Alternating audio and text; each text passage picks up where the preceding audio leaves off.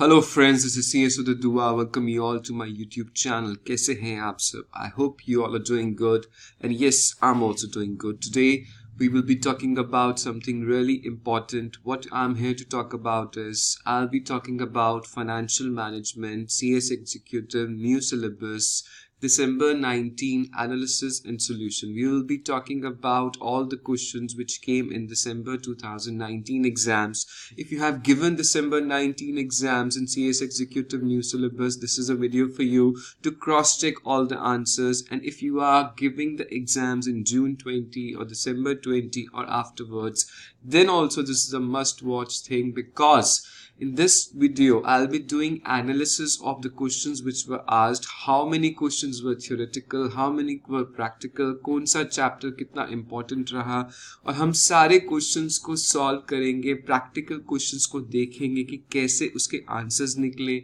बहुत इंपॉर्टेंट है क्योंकि प्रैक्टिकली भी पेपर इतना इजी नहीं था this was a first term exam of C S executive new syllabus हम दिसंबर 19 का पहले एनालिसिस करेंगे कि कौन सा चैप्टर की कितनी वेटेज रही and then we'll be talking about all the question solution so without wasting your time दिसंबर 19 का अगर मैं पेपर का एनालिसिस करूँ तो एज यू नो हमारा फाइनेंशियल मैनेजमेंट में 60 मार्क्स की कवरेज है, और मेरे 60 मार्क्स में 60 क्वेश्चंस आए, जो मेरे ओ एम आर बेस्ड थे, और वन मार्क ईच मेरा हर क्वेश्चन कैरी करता था।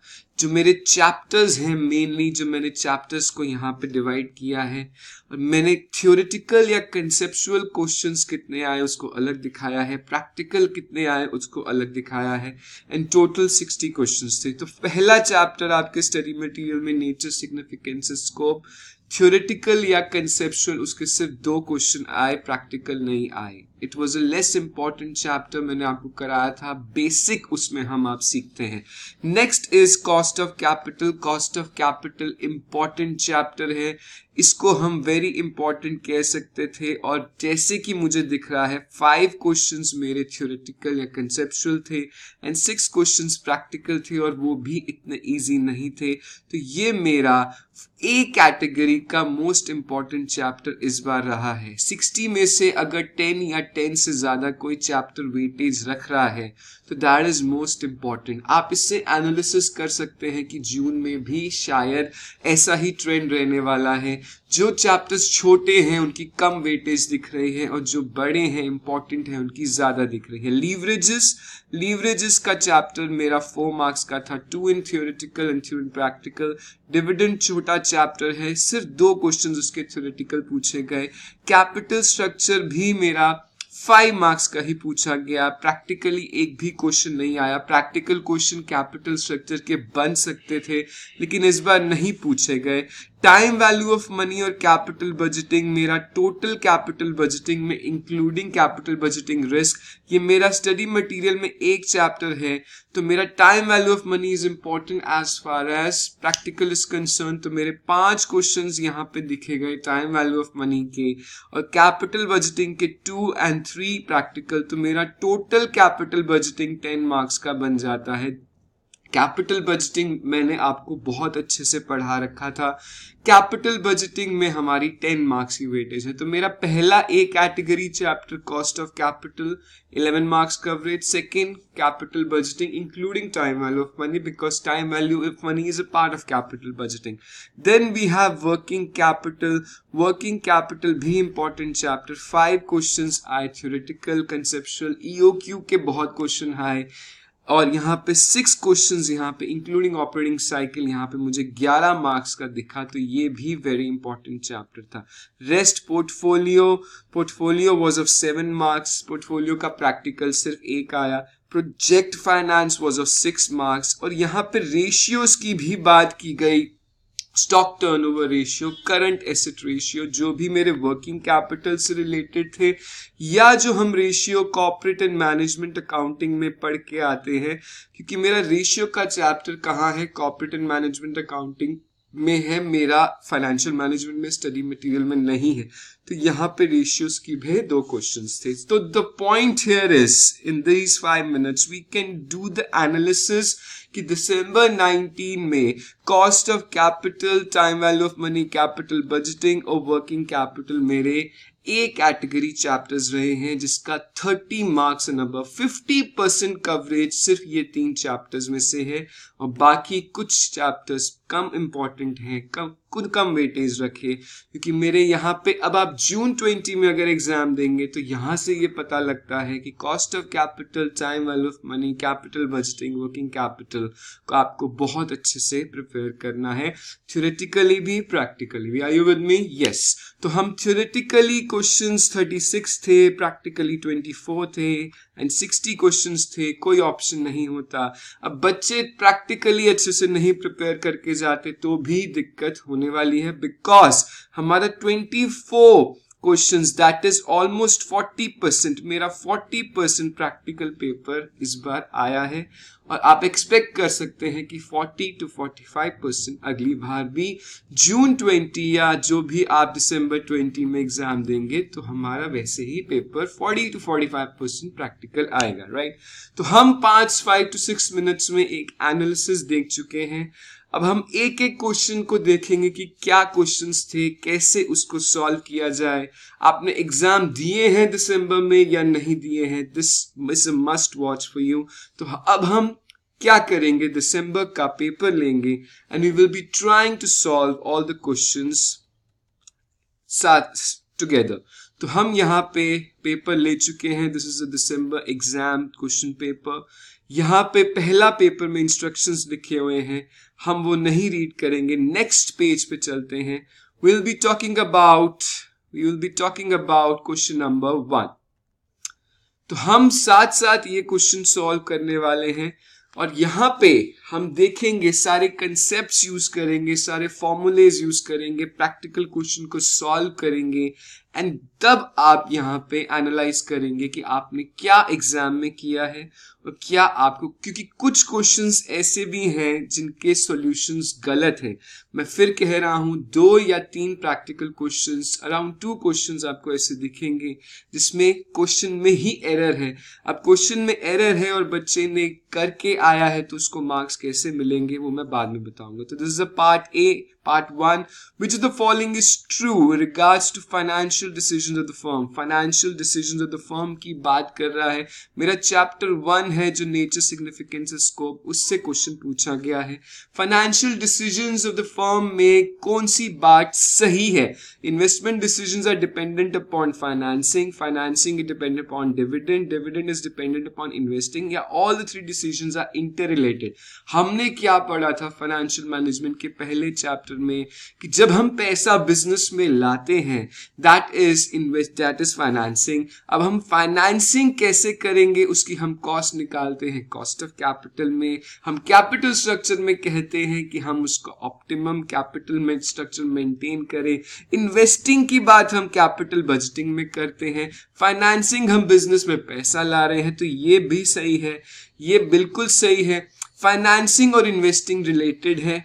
फाइनेंसिंग और डिविडेंड भी रिलेटेड है क्योंकि फाइनेंसिंग से मैं बिज़नेस करूँगा बिज़नेस से मेरे प्रॉफिट्स आएँगे प्रॉफिट से मैं या तो रिटेन करूँगा बिज़नेस में दैट इज़ रिटेन अर्निंग्स या तो मैं डिस्ट्रीब्यूट करूँगा दर आर डिविडेंड्स तो ये भी बात सही है। Dividends are dependent upon investments ये भी सही है। तो मेरा आंसर क्या बनता है? Answer is D all the three decision are inter related मेरे investing decision financing decision and dividend decision तीनों मेरे इंटरलिंक रहते हैं। ठीक है सर समझ आ रही है? ऐसे ही मैं आपको सारे क्वेश्चंस यहाँ पे डेफिनेटली कंसिडर करके सॉल्व कराने वाला हूँ। तो क्या हम ऐसे क्वेश्चंस देख सकते हैं?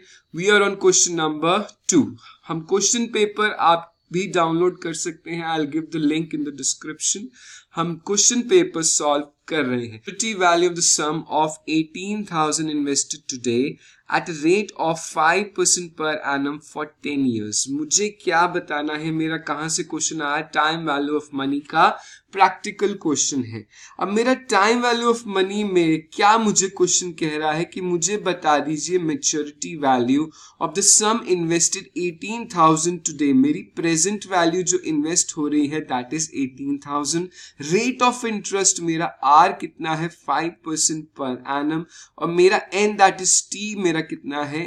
टेन ईयर्स तो मैं कैसे मेच्योरिटी वैल्यू निकाल सकता हूँ? मेच्योरिटी वैल्यू को मैं फ्यूचर वैल्यू कह सकता हूँ। हाँ सर हम कह सकते हैं फ्यूचर वैल्यू का formula future value is equal to present value into one plus R raise to the power N तो मैं प्रेजेंट वैल्यू को एटीन थाउज़ेंड लूँगा into one plus R R is zero point zero five मैं five percent को zero point zero five लिख सकता हूँ। Yes yes, लिख सकता हूँ। एंड एन इज़ टेन तो मैं इसको सॉल्व करूँ। मैं इसको सॉल्व करूँ तो मेरा eighteen thousand into one point zero five raise to the power ten इसको मैं सॉल्व करूँ। One point zero five raise to the power ten कैसे निकलेगा? One point zero five raise to the power ten निकालने के लिए one point zero five calculator पे into and nine times हम इज़ इक्वल टू करेंगे nine times is equal to करेंगे।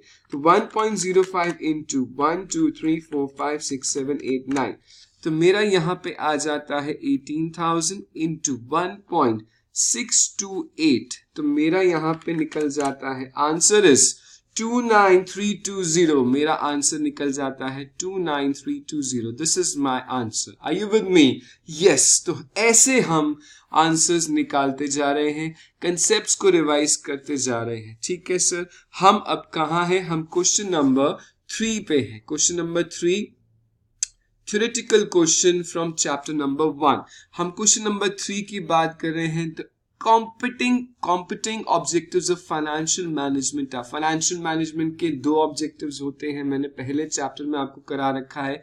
Profit maximisation and wealth maximisation ये बहुत easy question क्योंकि जब मैंने first chapter nature significance and scope आपको बताया था तो मैंने यही बताया था कि जो मेरे, यह, जो मेरे फाइनेंशियल मैनेजमेंट के ऑब्जेक्टिव्स हैं एक प्रॉफिट को मैक्सिमाइज करना है और एक वेल्थ को मैक्सिमाइज करना है। ठीक है सर हम ए को ऑप्ट कर जाएँगे। ज़्यादा इस पे डिस्कशन नहीं करेंगे। Question number four which of the following is example of systematic risk in stock हमारे दो तरह के रिस्क थे systematic risk and unsystematic risk sir हम सिस्टमैटिक रिस्क इसको कहते हैं? हम भूल चुके हैं। सिस्टमैटिक रिस्क कौन से हैं सर जो मेरे नॉन डाइवर्सिफाइबल रिस्क हैं?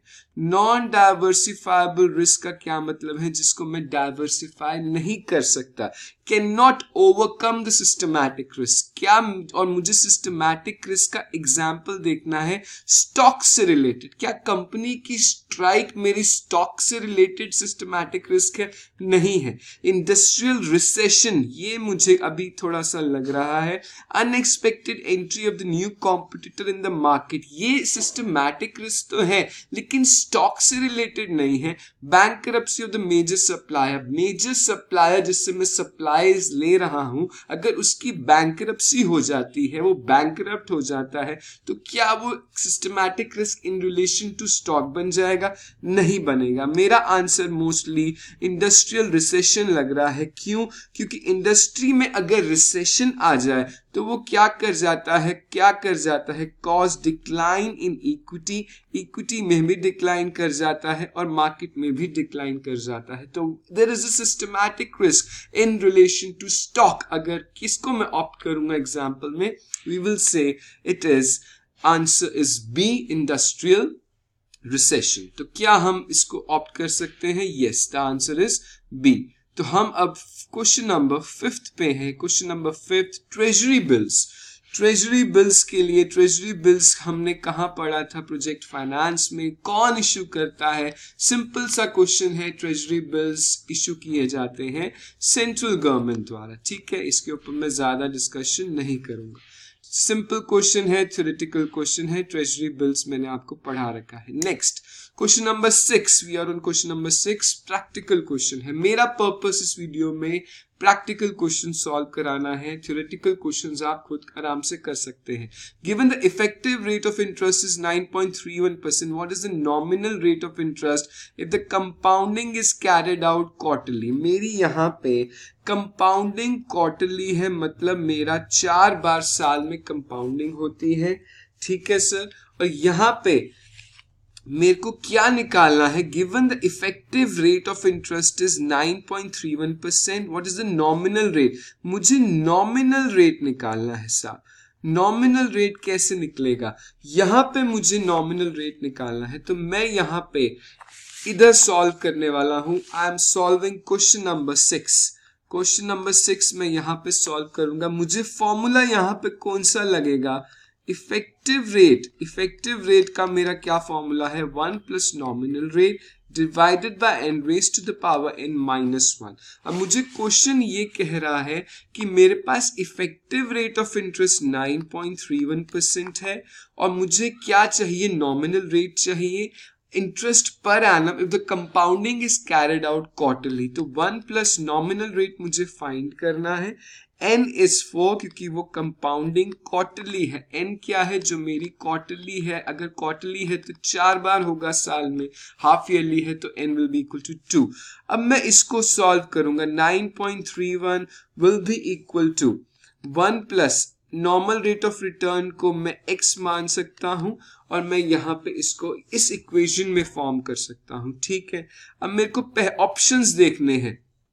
ऑप्शंस मेरे को या तो मैं इसको मैथमेटिकली uh, इसको सॉल्व कर लूँ नहीं तो मैं एक्स में यहाँ पे जो भी मुझे ऑप्शंस दे रखे हैं 9.25, 8.59 इन सब ऑप्शंस को एक्स की जगह पुट करके देखूँ और जहाँ पे भी मेरा आंसर 9.31 आ जाएगा वो मेरा नॉमिनल रेट होगा ठीक है सर ऐसे भी कर सकता हूँ। और मेरा नॉमिनल रेट हमेशा इफ़ेक्टिव रेट से कम होता है, ठीक है? तो मेरा या तो 8.5 होगा या 9 होगा, क्यों? क्योंकि मेरा नॉमिनल रेट हमेशा कम होता है इफ़ेक्टिव रेट से। तो मैं अगर यहाँ पे 8.5 पुट करके देखूँ तो मेरा यहाँ पे आ जाएगा, या तो मेरा 8.5 आंसर है, या तो मेरा 9 आंसर है। अगर मैं 8.5 पुट करके देखूँ 0.085 में इसको लिख सकता हूँ divided by 4 raise to the power four minus one इसको सॉल्व कीजिए and 1 plus zero point zero nine raise to the power four divide by four raise to the power four minus one इसको solve कीजिए। दोनों में से जिसका भी answer 9.31 आ जाए, वो मेरा आंसर है। अब मैं इसको सॉल्व करता हूँ। One plus point zero eight five raise to the power point zero eight five point zero eight five divided by four ठीक है? प्लस वन मेरा आ गया वन पॉइंट यहाँ पे आ गया one point zero two one two five raise to the power four minus 1 raised to the power 4 into n is equal to 3 times. 1 2 3 minus one मेरा यहाँ पे आ गया इंटू हंड्रेड कर दूँगा। तो मेरा इधर सॉल्व करके आता है eight eight eight point seven seven percent multiply by hundred करके हम परसेंटेज में कन्वर्ट करेंगे। Point zero nine divided by four plus one two और यहाँ पे मेरा आ जाता है nine point three zero eight इसको सॉल्व कैसे करेंगे? यहाँ पे raise to the power four है तो मैं यहाँ पे लिख सकता हूँ one plus point zero nine divided by four zero point zero two two five raise to the power four minus one इसको मैं लिख सकता हूँ one point zero two two five raise to the power four minus one इसको solve कैसे किया मैंने? इसको सॉल्व करने के लिए मैंने कैलकुलेटर पे 1.0225 into is equal to one time two time three times three times is equal to करूँगा। मेरा आ जाएगा 1.0930 और मैं माइनस कर दूँगा वन तो मेरा आ जाएगा 0.930 ठीक है? और यहाँ पे मैं परसेंटेज में कन्वर्ट कर दूँगा तो मेरा आ जाएगा 9.30 परसेंटेज तो कहने का मतलब ये है कि मेरा 9 परसेंट से 9.31 परसेंट मेरा इफ़ेक्टिव रेट ऑफ़ इंटरेस्ट आ जाता है फॉर्मूला लगा के, ठीक है? इफ़ेक्टिव रेट नॉट यहाँ पे इसको थोड़ा सा टिपिकल क्वेश्चन था। अगर आपने दिसंबर में एग्ज़ाम दिया है तो यहाँ पे आप कुछ गलती कर सकते हैं। तो हमने सिक्स क्वेश्चंस कर लिए हैं। We are on question number seven तो हम सेवन क्वेश्चन पे चलते हैं। सेवन क्वेश्चन की हम बात करते हैं। We are on question number seven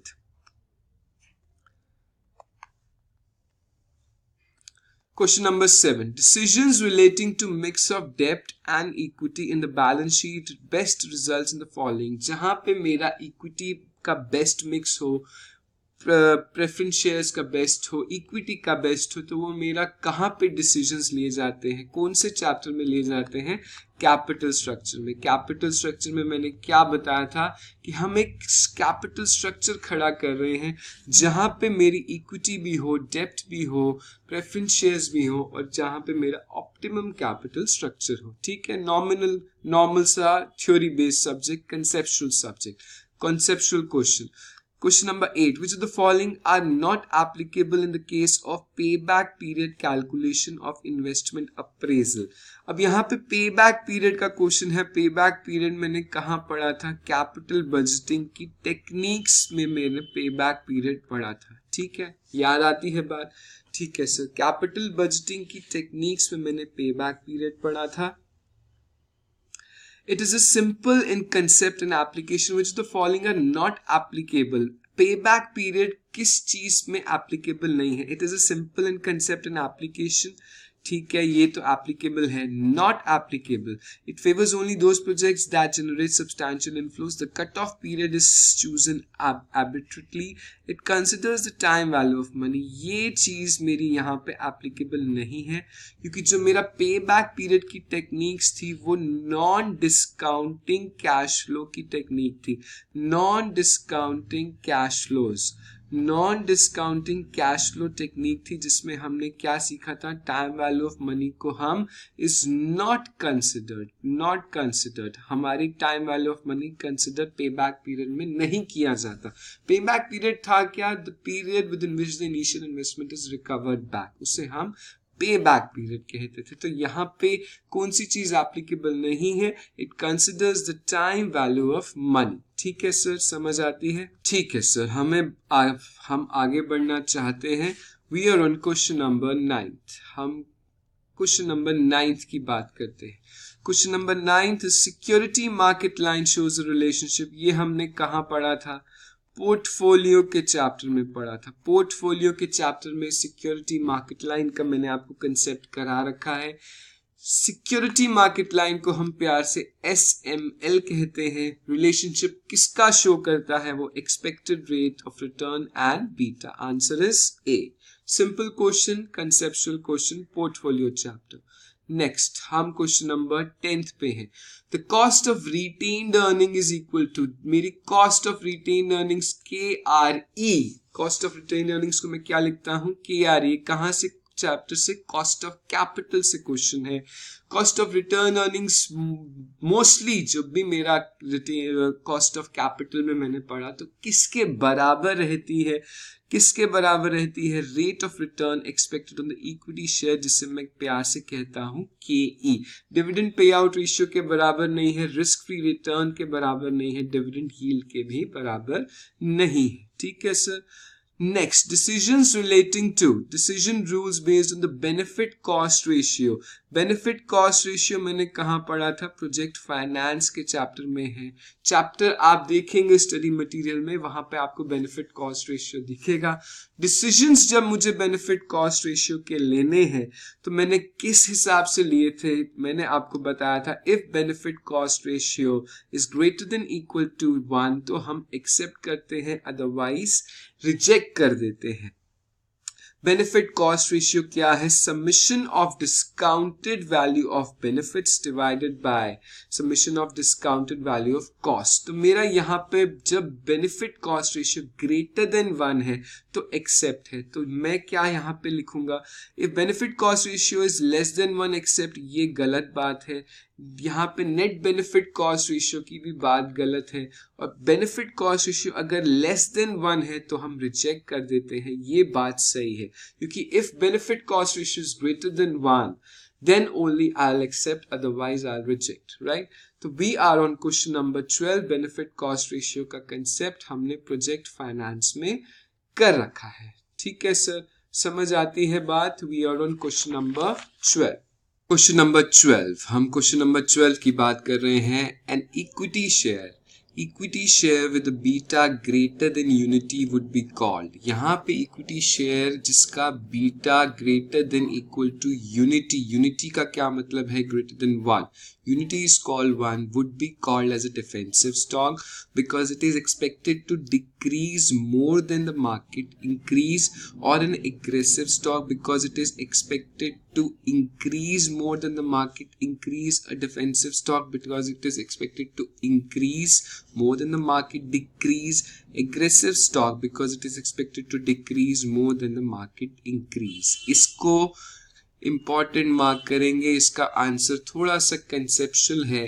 क्या कंसेप्ट है इसमें कि जब मेरा बीटा बीटा क्या मेजर करता है? सिस्टमैटिक रिस्क मेरे स्टॉक डिफेंसिव हो सकता है या एग्रेसिव हो सकता है? डिफेंसिव स्टॉक का क्या मतलब है? डिफेंसिव स्टॉक वो स्टॉक है जिसमें रिस्क मेरा अफोर्डेबल है।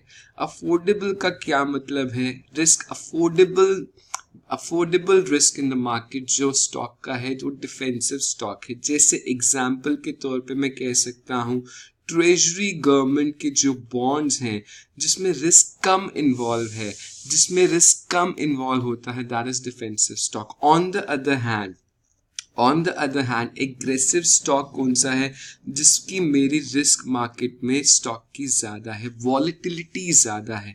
तो मेरा आंसर क्या होगा इसका? बीटा की अगर मैं बात करूँ बीटा जब मैंने आपको कराया था तो अगर मेरा beta greater than equal to one होता है तो क्या होता है? और greater beta less than one होता है तो क्या होता है? अगर बीटा ग्रेटर देन वन है तो it shows that stock price will swing more widely than the most of the stock. Stock price definitely swing करेगा मोर वाइडली और अगर लेस देन वन है तो इंडिकेट करता है कि स्टॉक प्राइस स्टेडियर रहेगा मेरा वाइडली फ्लो नहीं करेगा स्विंग नहीं करेगा तो यहाँ पे इक्विटी शेयर जिसका बीटा ग्रेटर देन यूनिटी है यूनिटी का क्या मतलब है वन है तो वो क्या उसको कहा जाएगा?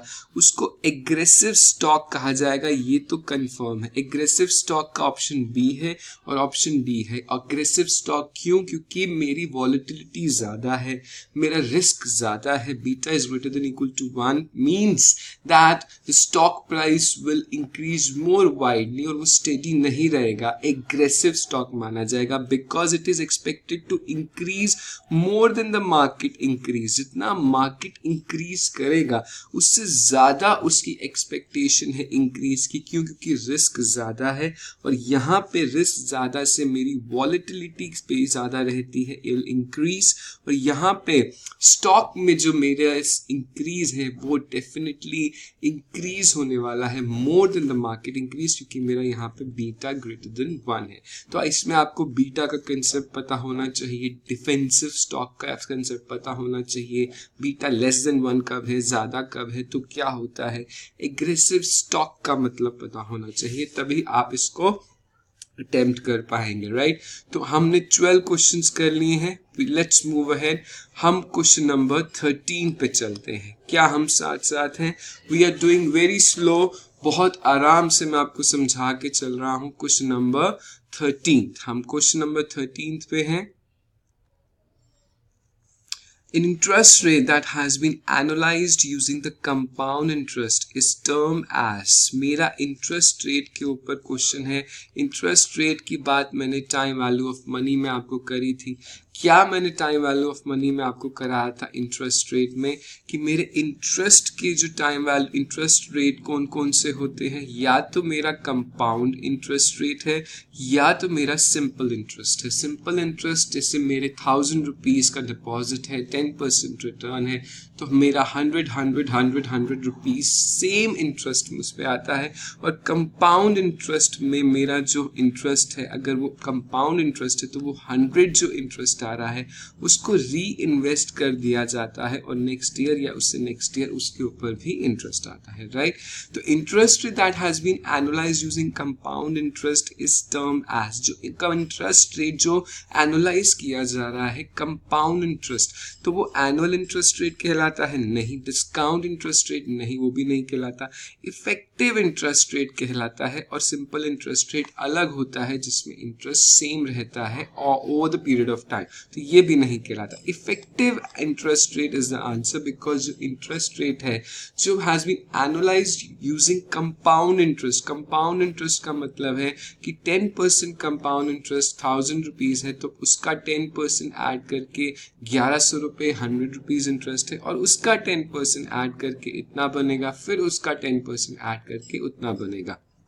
Right right? इस हिसाब से मेरा इफ़ेक्टिव इंटरेस्ट रेट वो कहलाता है। नेक्स्ट हम क्वेश्चन नंबर 14 पर है। The risk aversion investors can be the risk aversion of the investors can be measured by risk aversion की बात हो रही है, कैसे उसको मेजर किया जाए? क्या उसको risk free rate of return से मेजर कर सकते हैं? नहीं। यहाँ पे मैंने कैपिटल एसेट प्राइसिंग मॉडल का कंसेप्ट यूज़ करना है, जो मैंने कॉस्ट ऑफ़ कैपिटल में पढ़ा था। मैंने कॉस्ट ऑफ़ कैपिटल में रिस्क एवर्जन बताया था। रिस्क एवर्जन को मैं कहता हूँ expected return from the market minus risk free return ये जो मेरा मार्केट रिस्क है रिस्क प्रीमियम सॉरी जिसको मैं कहता हूँ रिस्क प्रीमियम रिस्क प्रीमियम को मैं रिस्क एवर्जन कहता हूँ तो वो risk free rate of return से भी नहीं मार्केट रेट से भी नहीं वेरिएंस से भी नहीं। The difference between the market rate of return and risk free rate of return जो हम कैपिटल एसेट प्राइसिंग मॉडल में फॉर्मूले में expected return from the market minus risk return minus करते थे और यहाँ पे बीटा मल्टीप्लाई करते थे। तो ये वाला जो है, इससे मेरा रिस्क एवर्जन मेजर हो जाता है। ठीक है सर समझ आती है बात? Next we are on question number fifteen हम क्वेश्चन नंबर फिफ्टीन पे हैं। क्वेश्चन नंबर 15 कहता है a firm declare dividend 25 percent dividend on the share of face value 10 its growth rate is 5 percent if the rate of capitalisation is 12 percent its expected price would be मेरे को यहाँ पे P zero बताना है और मुझे यहाँ पे क्या क्या पता है? फर्म डिक्लेयर डिविडेंड तो मेरा firm declare dividend 25 percent of 10 में फेस वैल्यू 2.5 मेरा क्या है? डी ज़ीरो तो मेरा डी ज़ीरो आज का डिविडेंड मुझे 2.5 पता है। तो मैं नेक्स्ट एक्सपेक्टेड डिविडेंड निकाल सकता हूँ। D zero will be equal to one plus G तो मैं यहाँ पे 2.5 प्लस ग्रोथ रेट मेरी कितनी है? 5 परसेंट तो मैं 0.05 कर सकता हूँ। Yes yes, 2.5 one plus five percent into two point five calculator पे निकल आया two point six two five मेरा डी वन ये है। तो मुझे निकालना क्या है? मुझे निकालना है P zero P always equal to D one divided by K E minus G D one मेरा निकल चुका है two point six rate of capitalisation मेरा यहाँ पे ट्वेल्व परसेंट है. ट्वेल्व परसेंट को मैं पॉइंट वन टू लिख सकता हूँ. पॉइंट फाइव फाइव परसेंट को लिख सकता हूँ. इसको कैलकुलेट करेंगे. Two point six two five divided by seven percent तो मेरा यहाँ पे आ जाता है thirty seven point five zero मेरा answer is D thirty seven point five zero मेरा आंसर ऐसे निकल जाता है। मेरा कॉस्ट ऑफ़ कैपिटल का क्वेश्चन है और के ई e का मैंने प्राइस का ऑप्शन यहाँ पे ये वाला फॉर्मूला यहाँ पे लगाया जो मेरा कॉस्ट ऑफ़ कैपिटल में मैंने सीखा था। यू विद मी यस तो कुछ भी नहीं है। अभी तक सारे क्वेश्चंस इजी चल रहे हैं मैनेजेबल चल रहे हैं। नेक्स्ट क्वेश्चन पे हम आते हैं। Question number capital budgeting decision part and parcel of capital budgeting decision जब चैप्टर स्टार्ट हुआ था।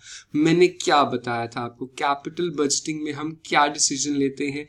कि जितने भी फंड्स बिज़नेस में आ गए हैं मनी जितना भी फाइनेंस हो चुका है, उसको कहाँ पे इन्वेस्ट किया? जब we are doing capital budgeting decision just to evaluate long term investment decision long term investment policies long term investment proposals तो यहाँ पे आंसर होता है only investing decision capital budgeting में सिर्फ़ और सिर्फ़ इन्वेस्टिंग डिसीज़न होती हैं। फाइनेंसिंग नहीं होती। डिविडेंड का भी लेना देना नहीं है। ओनली इन्वेस्टमेंट डिसीज़न यहाँ पे लिए जाते हैं। यू मी कैपिटल बजटिंग का बेसिक क्वेश्चन है।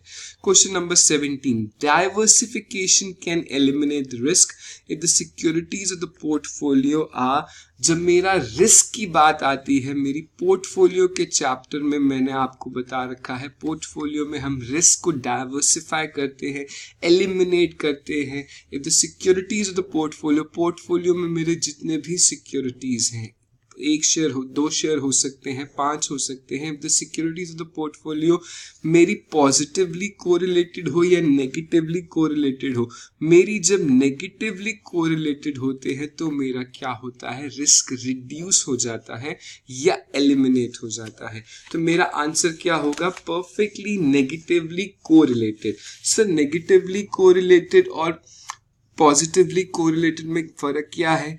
Perfectly negatively correlation is represented by minus one यहाँ पे माइनस वन से रिप्रेजेंट किया जाता है। No correlation is represented by zero अगर कोई भी कोरिलेशन नहीं है तो वो ज़ीरो से रिप्रेजेंट किया जाता है। और परफेक्टली पॉजिटिव प्लस वन से कोरिलेट किया जाता है। नेगेटिव कोरिलेशन का मतलब है इनवर्स कोरिलेशन इनवर्स कोरिलेशन हम इसे कहते हैं।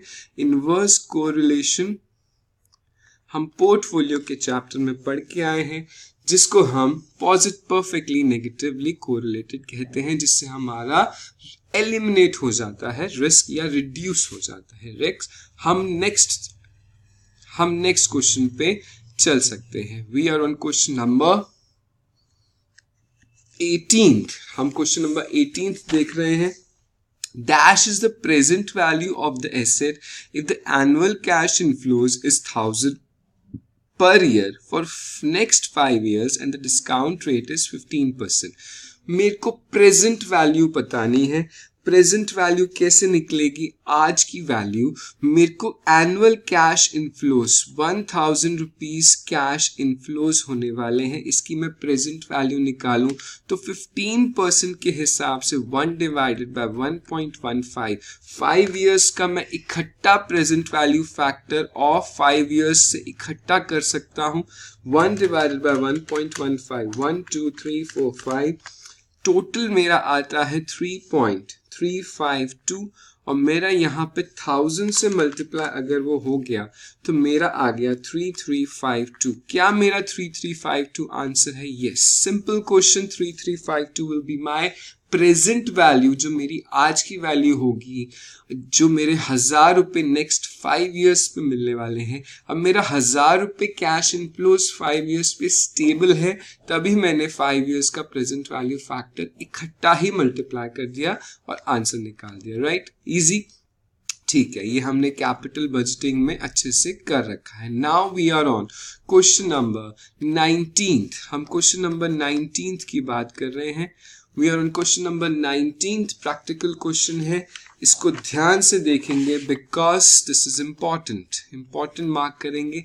Investor purchases an eight percent bond having a face value of thousand and a maturity of five years for for nine hundred later, he sells it for 960 in the market, the holding period gain. मुझे holding period gain निकालना है of the investor. कैसे निकलेगा ये holding period gain ये देखने वाली बात है। होल्डिंग पीरियड गेन मुझे निकालना है। होल्डिंग पीरियड गेन निकलता कैसे है? होल्डिंग पीरियड गेन या होल्डिंग पीरियड यील्ड मैं इसे कह सकता हूँ। इसको मैं निकालूँगा selling price selling price minus maturity value plus bond का interest divided by maturity divided by maturity value तो हम क्वेश्चन को अगर पढ़ें दोबारा से an investor purchase eight percent bonds having face value one thousand मेरी फेस वैल्यू वन थाउज़ेंड है and maturity of five years for nine hundred ये मेरी क्या है?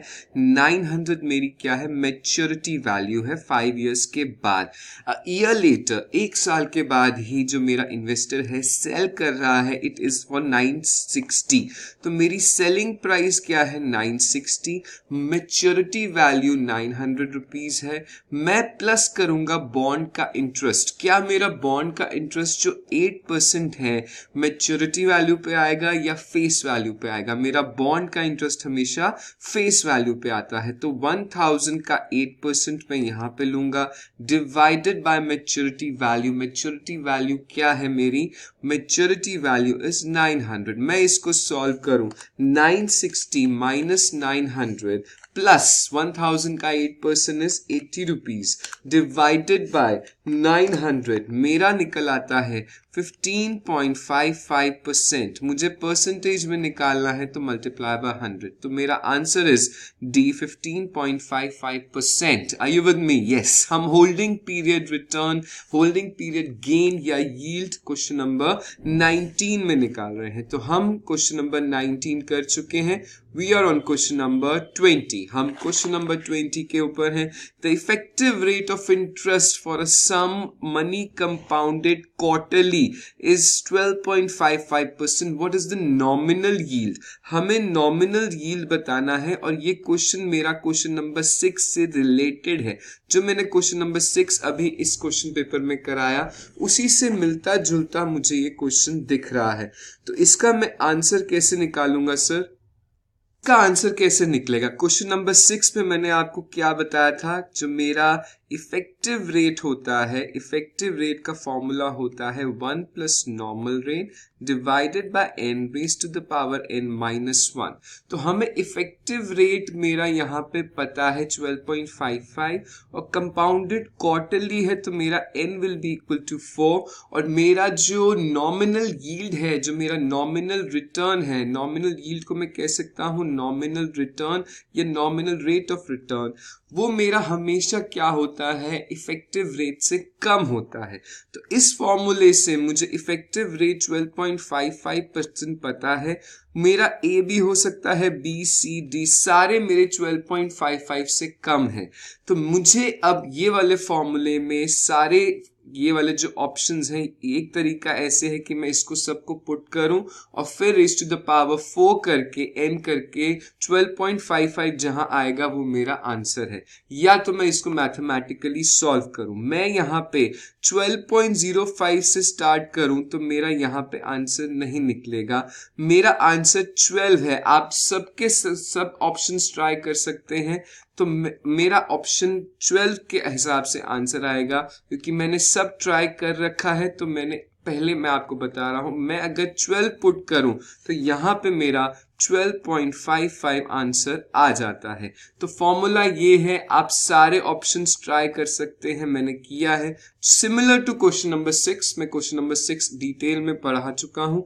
तो सिमिलर क्वेश्चन है, इसको हम क्वेश्चन नंबर सिक्स से रिलेट करके समझेंगे। हम क्वेश्चन नंबर ट्वेंटी वन पे हैं। We are on question number twenty one जो क्वेश्चन रिपीटेड है, उस पर मैं टाइम ज़्यादा नहीं लगाऊँगा। The price of the share is hundred rupees today मेरा पी ज़ीरो आज हंड्रेड है। It grows to one twenty five at the end of year one मेरी आज की जो प्राइस है हंड्रेड है। पी वन मेरा हो जाएगा ईयर एंड के फ़र्स्ट ईयर एंड पे 125 सेकेंड ईयर एंड पे मेरा प्राइस हो जाएगा 187.5 187.5 at the end of year two end 243 243.75 at the end of year 3 what is the average rate of return? Average rate of return मुझे निकालना है, ये कैसे निकलेगा सर मेरे को ईयर मेरे को प्राइस ऑफ़ द शेयर आज का दे दिया, एक साल बाद का दे दिया, दो साल बाद का दे दिया, और तीन साल बाद का दे दिया। एवरेज रिटर्न में कैसे निकालूँगा? बहुत सिंपल है। एवरेज रिटर्न बहुत सिंपल तरीके से सिर्फ़ प्राइस की इंफॉर्मेशन है तो मैं और कोई इंफॉर्मेशन कंसिडर करे बिना सिर्फ़ यही कंसिडर करूँगा। जब मेरा P ज़ीरो से हंड्रेड से P वन निकला 125 तो मेरा यहाँ पे कितना परसेंट ग्रोथ हुआ? 25 परसेंट कोई दिक्कत नहीं। फिर उससे नेक्स्ट ईयर सेकेंड ईयर में 187.50 हुआ।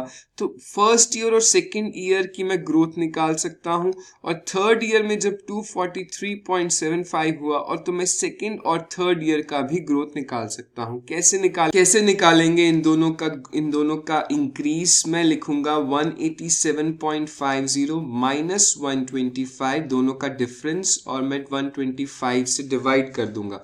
187.5 डिवाइडेड बाय 125 डिवाइडेड बाय 125 मेरा इंटू हंड्रेड मैं करके यहाँ पे निकाल सकता हूँ। इंटू हंड्रेड क्योंकि मैं परसेंटेज में निकालना चाहता हूँ तो मेरा यहाँ पे इंक्रीज 50 परसेंट है, यहाँ 25 परसेंट है। सिमिलरली इन दोनों का डिफरेंस लेंगे। 243.75 divided by one eighty seven by 187.5 divided by 187 187.5 percentage इसका निकल जाएगा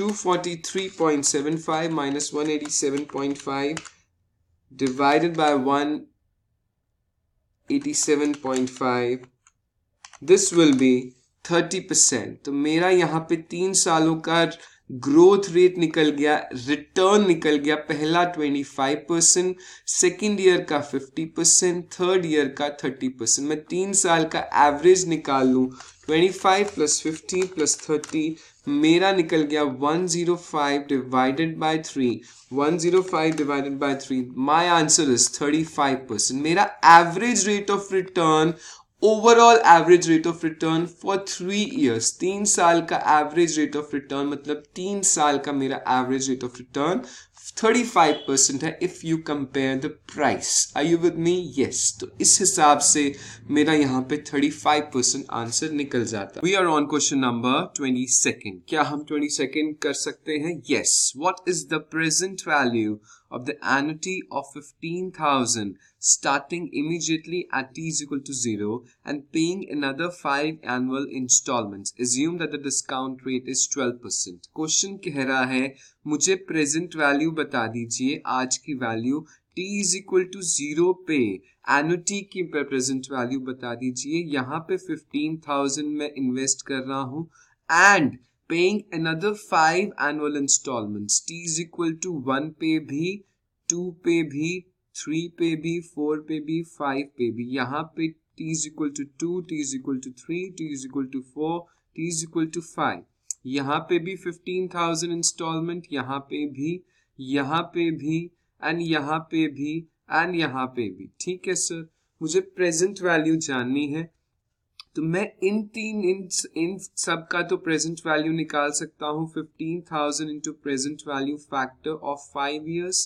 present value factor को मैं 12 परसेंट से निकालूँगा one divided by one point one one two one divided by one point one two five times is equal to one two three four five I will get present value factor as 15,000 into 3.604 मेरा आ जाता है this will come as 554,072 approximately. और इसमें मैं ये वाला 15,000 add कर दूँगा क्योंकि ये t is equal to zero पे है प्लस 15,000 मेरा आंसर आ जाता है 69072 अप्रोक्सीमेटली माय आंसर इज़ 69072 और मज़े की बात ये है कि इन चारों ऑप्शंस में से 69072 नहीं है। कहने का मतलब क्या है कि ये मेरे ऑप्शंस गलत हैं और ये क्वेश्चन या तो क्वेश्चन में कुछ एरर है, या तो मेरे ऑप्शंस में कुछ एरर है। या तो क्वेश्चन ये बताना भूल गया फाइव एनुअल इंस्टॉलमेंट्स जो हैं, वो किस सम की हैं? अगर क्वेश्चन साइलेंट है तो मैं तो यही एज्यूम करूँगा कि फिफ्टीन थाउज़ेंड की हैं। तो फिफ्टीन थाउज़ेंड की एनुअल इंस्टॉलमेंट से मेरा six nine zero seven two answer आता है और मेरा कोई भी ऑप्शन यहाँ पे सही नहीं है। अब if you have given December exams and आपने कोई भी ऑप्शन ऑप्ट किया है तो आपको यहाँ पे ग्रेस मार्क्स मिलने चाहिए। ग्रेस मार्क्स मिलने चाहिए क्योंकि क्वेश्चन में ही कुछ प्रॉब्लम है। आप खुद ट्राई करके देखिए प्रेजेंट वैल्यू ऑफ़ एनुटी आप यही आंसर निकालेंगे six nine zero seven two और ये चारों ऑप्शंस आपके गलत हैं। तो if you have attempted institute should give grace marks और आपको मिलने भी चाहिए। या तो फाइव एनुअल इंस्टॉलमेंट्स कोई अलग अमाउंट की क्वेश्चन बताना चाहता था और वो स्किप हो गया है। या तो क्वेश्चन के सारे ऑप्शंस गलत हैं। तो देखने का मज़ा ये है कि क्वेश्चन आईसीएसआई ऐसे ड्राफ्ट कर रहा है 22 को ऐसे अलग से मार्क करेंगे कि क्वेश्चन में ही कुछ प्रॉब्लम है राइट आप इसका आंसर ट्राई करके क्रॉस चेक कीजिए, इसका आंसर आपका नहीं निकलेगा। कोई भी चार ऑप्शंस आप नहीं निकाल पाएँगे। We are on question number 23 तो हम अभी तक 22 क्वेश्चंस में से एक क्वेश्चन ऐसा देख चुके हैं जो इंस्टीट्यूट ने ड्राफ्ट ही गलत किया है। क्या बात है? Which of the following does not contribute to systematic risk systematic risk को कंट्रीब्यूट नहीं करता है। सिस्टमैटिक रिस्क कौन सा है? जो डाइवर्सिफाइबल रिस्क ना हो। That is non diversifiable risk जो मेरा मार्केट से रिलेटेड है इंडस्ट्री से रिलेटेड है। Change in the interest rate interest rate change हो जाए तो क्या ये सिस्टमैटिक रिस्क है? डेफिनेटली है। Change in the level of the government spending ये भी है। Emergency of the emergency of the new competitor competitor आ जाता है तो वो भी है। Emergence of the new competitor क्या मेरा सिस्टमैटिक रिस्क है? अभी देखते हैं, शायद नहीं है। Change in the industrial policy ये भी मेरा सिस्टमैटिक रिस्क है। तो मेरा आंसर क्या लग रहा है? सी क्योंकि मेरा सी ऐसा है, कोई नया कॉम्पिटिटर आ रहा है या जा रहा है, उससे सिस्टमैटिक रिस्क नहीं पता, नहीं इफ़ेक्ट होता। क्योंकि मेरा इमरजेंस ऑफ़ न्यू कॉम्पिटिटर की मैंने कहा बात पढ़ी थी? स्ट्रैटेजिक मैनेजमेंट में मैंने पॉटर का फाइव फोर्सेस पढ़ा था। जहाँ पे मैंने पढ़ा था entrance threats of new competitors तो वहाँ पे ये मैंने ये बात पढ़ी थी सिस्टमैटिक रिस्क का इससे लेना देना नहीं है। इंडस्ट्रियल पॉलिसी बदल जाए तो भी मेरा सिस्टमैटिक रिस्क इफ़ेक्ट हो जाता है इंटरेस्ट रेट से भी हो जाता है। ठीक है sir answer is C now we are on question number twenty four twenty fourth question solve करने की कोशिश कर रहे हैं। Varun limited is issuing one lakh twelve percent irredeemable preference shares of the face value of hundred each if the flotation cost is two percent what is the cost of these preference shares मुझे K P निकालना है। के P का मैं कैसे formula इसमें लगा सकता हूँ? Preference dividend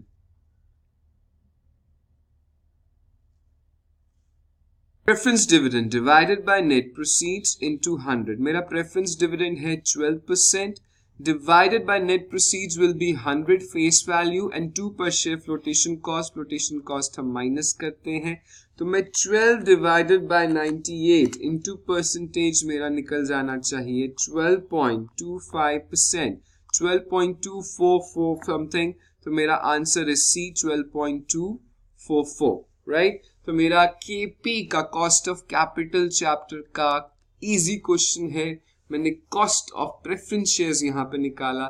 12 परसेंट मैंने लिया। 12 परसेंट ऑफ़ 100 फेस वैल्यू के हिसाब से मैंने प्रेफरेंस डिविडेंड 12 यहाँ पे ले लिया। 12 को डिवाइड किया 98 से into 100 12.244 will be my answer. हम 24 क्वेश्चंस कर चुके हैं। Now we are on question number 25th. We are on question number 25th. Question number 25th. Right?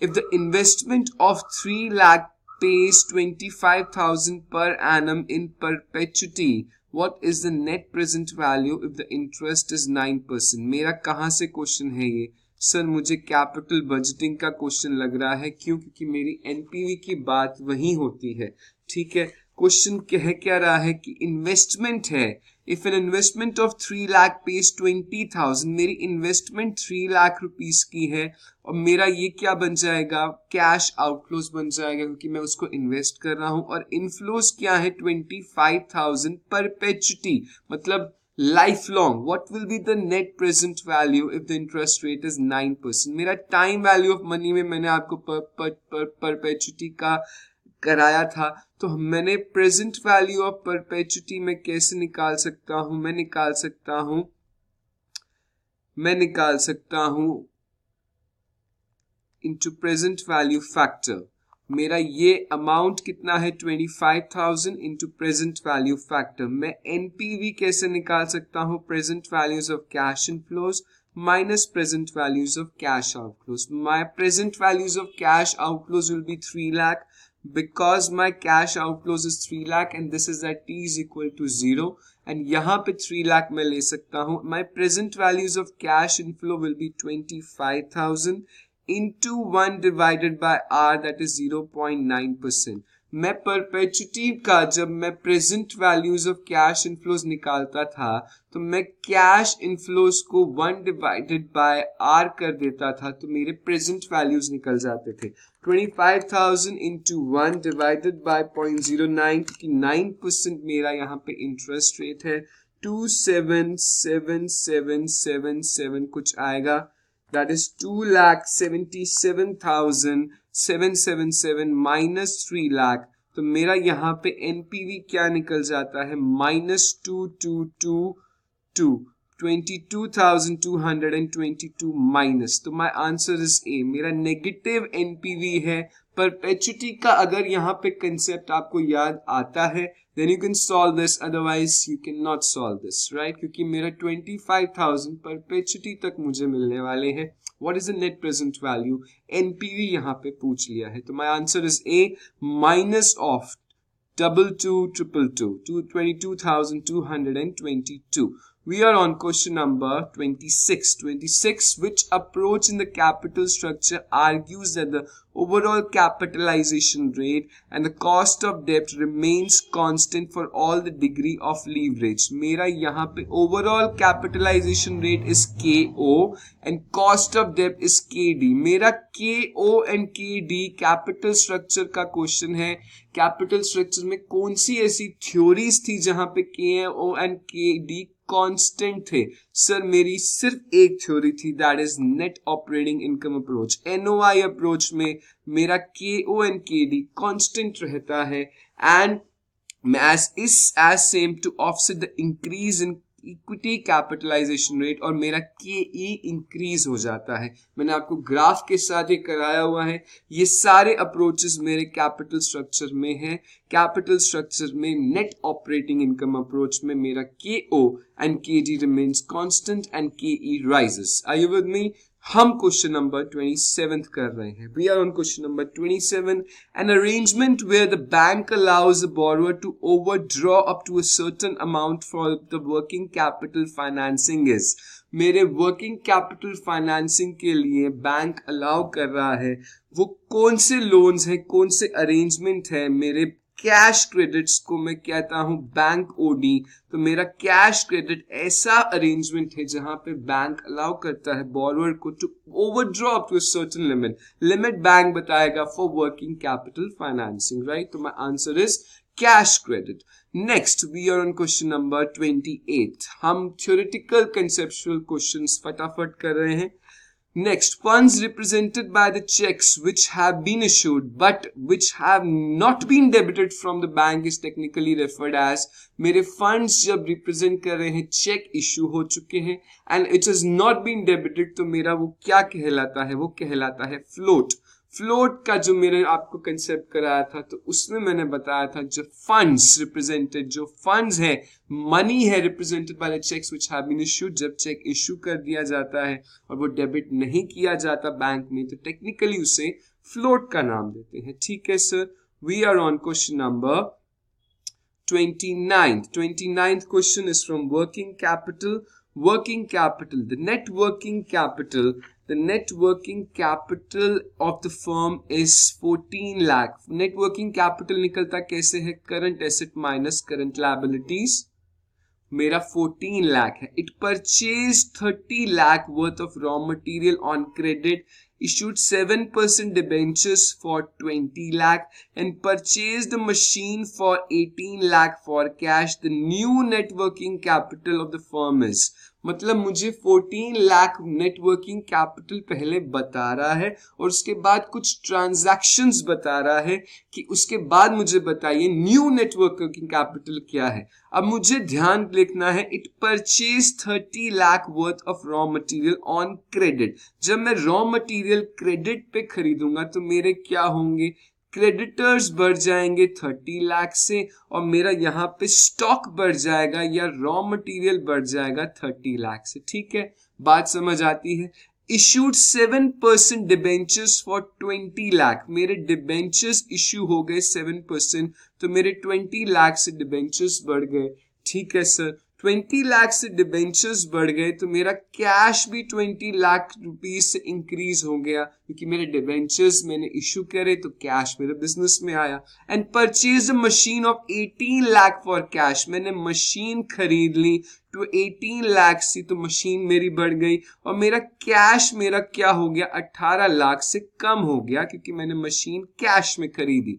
तो मुझे अब देखना है current asset minus current liabilities का नेट इफ़ेक्ट मेरा नेट इफ़ेक्ट दिख रहा है। मेरे को स्टॉक में मेरा क्या होता है? क्या मेरा करंट एसेट स्टॉक मेरा करंट एसेट है? यस yes, मैं स्टॉक को लूँगा। Stock is my thirty lakh minus current liabilities current liabilities will be creditors creditors को मैं माइनस कर दूँगा तो thirty lakh will be minus इसका इफ़ेक्ट खत्म हो गया।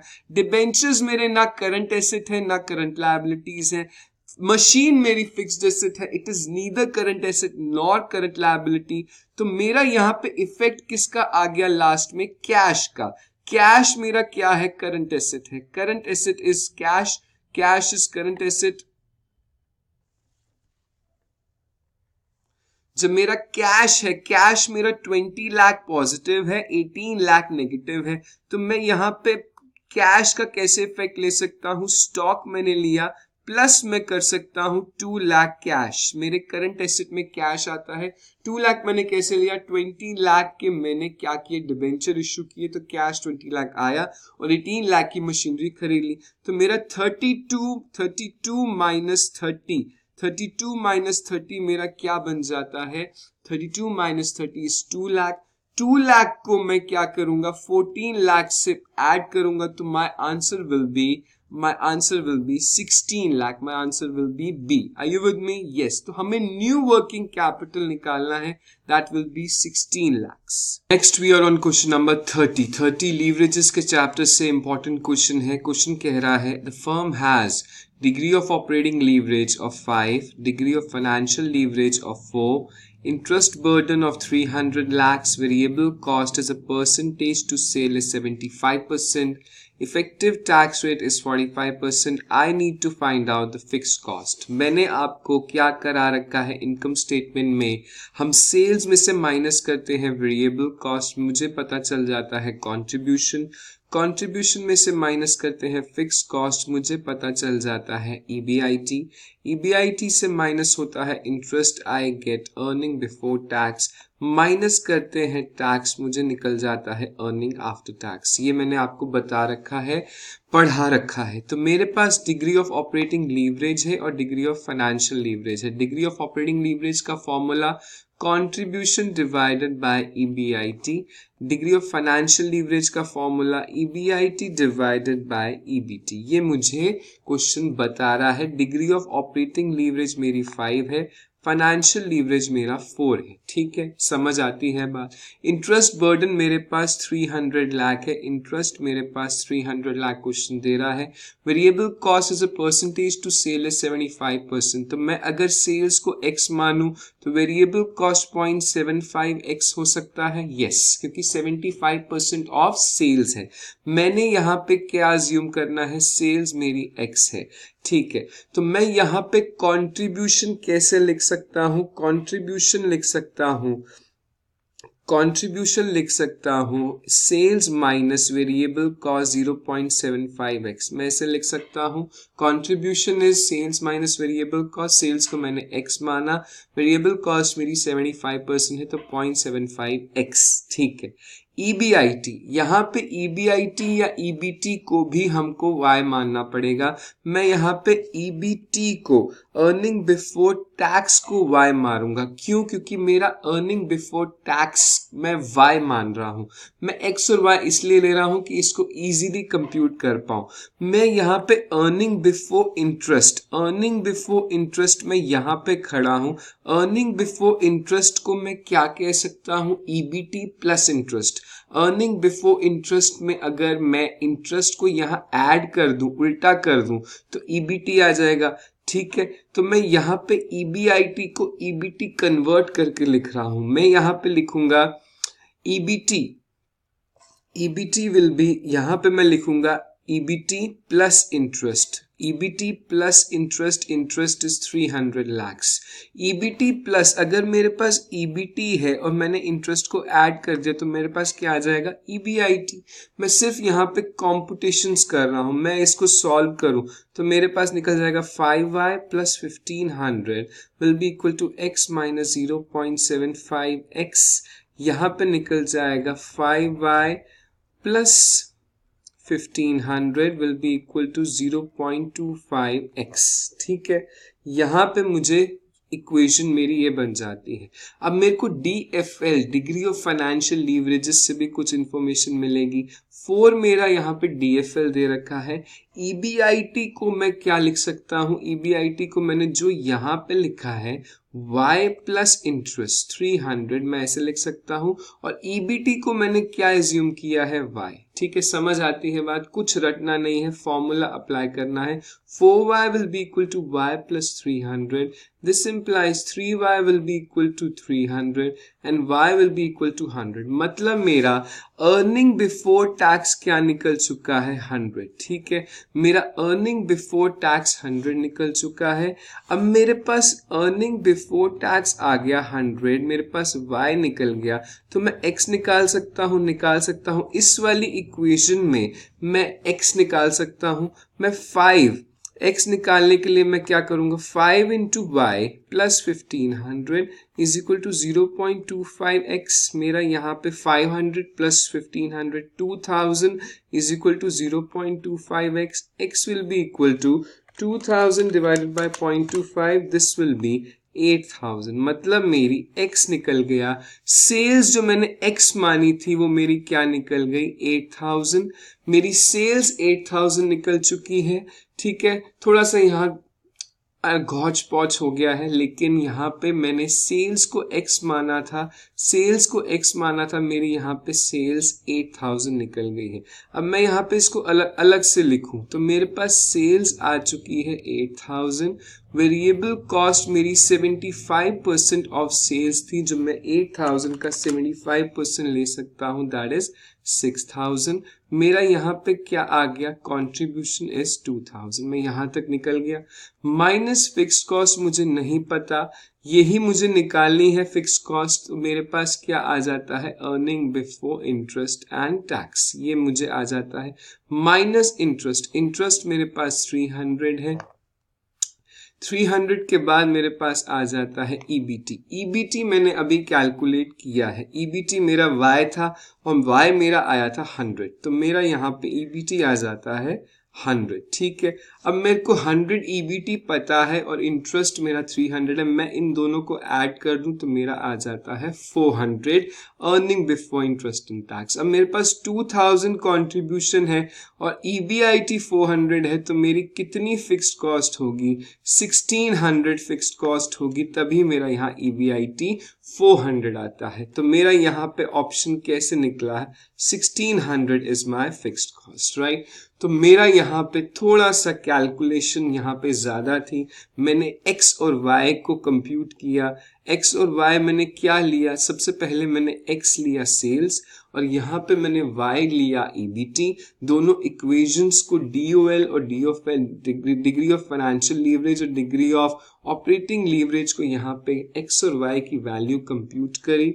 और यहाँ पे इसको बहुत ध्यान से मैंने किया और यहाँ पे मैंने फिक्स्ड कॉस्ट की वैल्यू इनकम स्टेटमेंट में सारी चीज़ें पुट करके ऐसे निकाली। आई विद मी यस तो सारे यहाँ पे डीओएल का फॉर्मूला लगा डीएफएल का लगा इनकम स्टेटमेंट की सारी बात यहाँ पे मैंने आपको समझा दी। ठीक है सर इजी क्वेश्चन नहीं था फॉर्मुलेस थे, लेकिन अगर आपके कंसेप्ट स्ट्रांग है तो इजी था।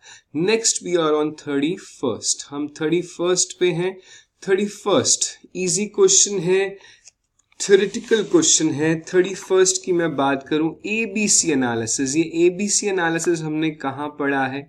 वर्किंग कैपिटल के चैप्टर में इज़ यूजफुल फॉर किसके लिए यूजफुल है एबीसी एनालिसिस मेरा analysing inventory based on the usage and movement usage and movement के लिए जो मेरा एबीसी एनालिसिस किसके लिए मेरी बात करता है? कंजम्पशन के हिसाब से मेरी इन्वेंट्री की एनालिसिस करता है। तो ए इज़ द आंसर ठीक है? सेफ्टी स्टॉक के लिए मेरा ईओक्यू e होता है। ये आंसर नहीं है, ये भी नहीं है, ये भी नहीं है। तो नेक्स्ट हम ABC analysis theoretically working capital में आपको करा के आए हैं। We are on question number we are on question number thirty two हम थर्टी टू करने के साथ साथ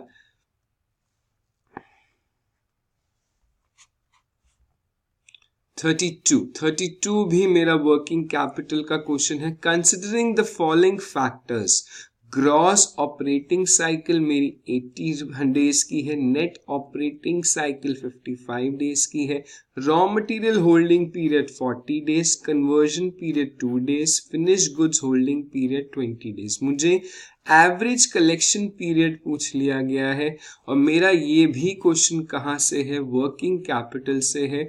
ऑपरेटिंग साइकिल का कंसेप्ट यहाँ लग रहा है। ऑपरेटिंग साइकिल मैंने आपको क्या कराया था?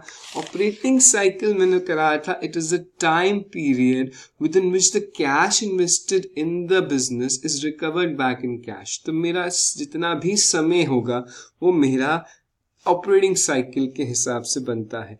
मैंने आपको ऑपरेटिंग साइकिल जब कराया था तो मैंने क्या कराया था? ऑपरेटिंग साइकिल का फॉर्मूला क्या है? Operating cycle will be equal to raw material का holding period plus work in progress holding period plus मैं करता हूँ फिनिश गुड्स का होल्डिंग पीरियड प्लस में करता हूँ एवरेज कलेक्शन पीरियड और माइनस में करता हूँ average payment period. Average collection period किसके लिए मैंने निकाला था? डेटर्स के लिए। तो ये मुझे बताना है। मुझे एवरेज कलेक्शन पीरियड पूछ लिया गया है। फॉर्मूला मैं ऑपरेटिंग साइकिल का ही लगाऊँगा।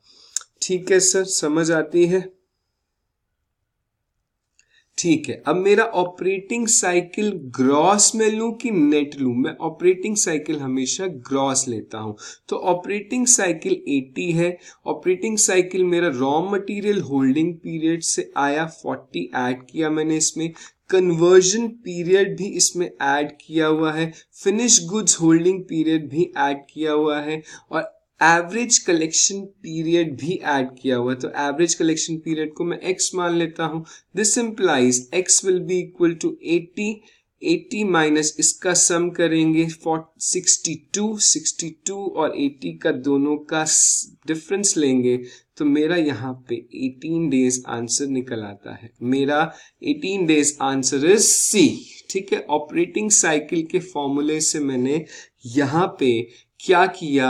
वर्किंग कैपिटल का एवरेज कलेक्शन पीरियड निकाल लिया। तो मैं ऑपरेटिंग साइकिल का फॉर्मूला यहाँ लगाया और कुछ भी नहीं किया इजीली मैंने निकाल लिया सिर्फ़ उसको पुट करके।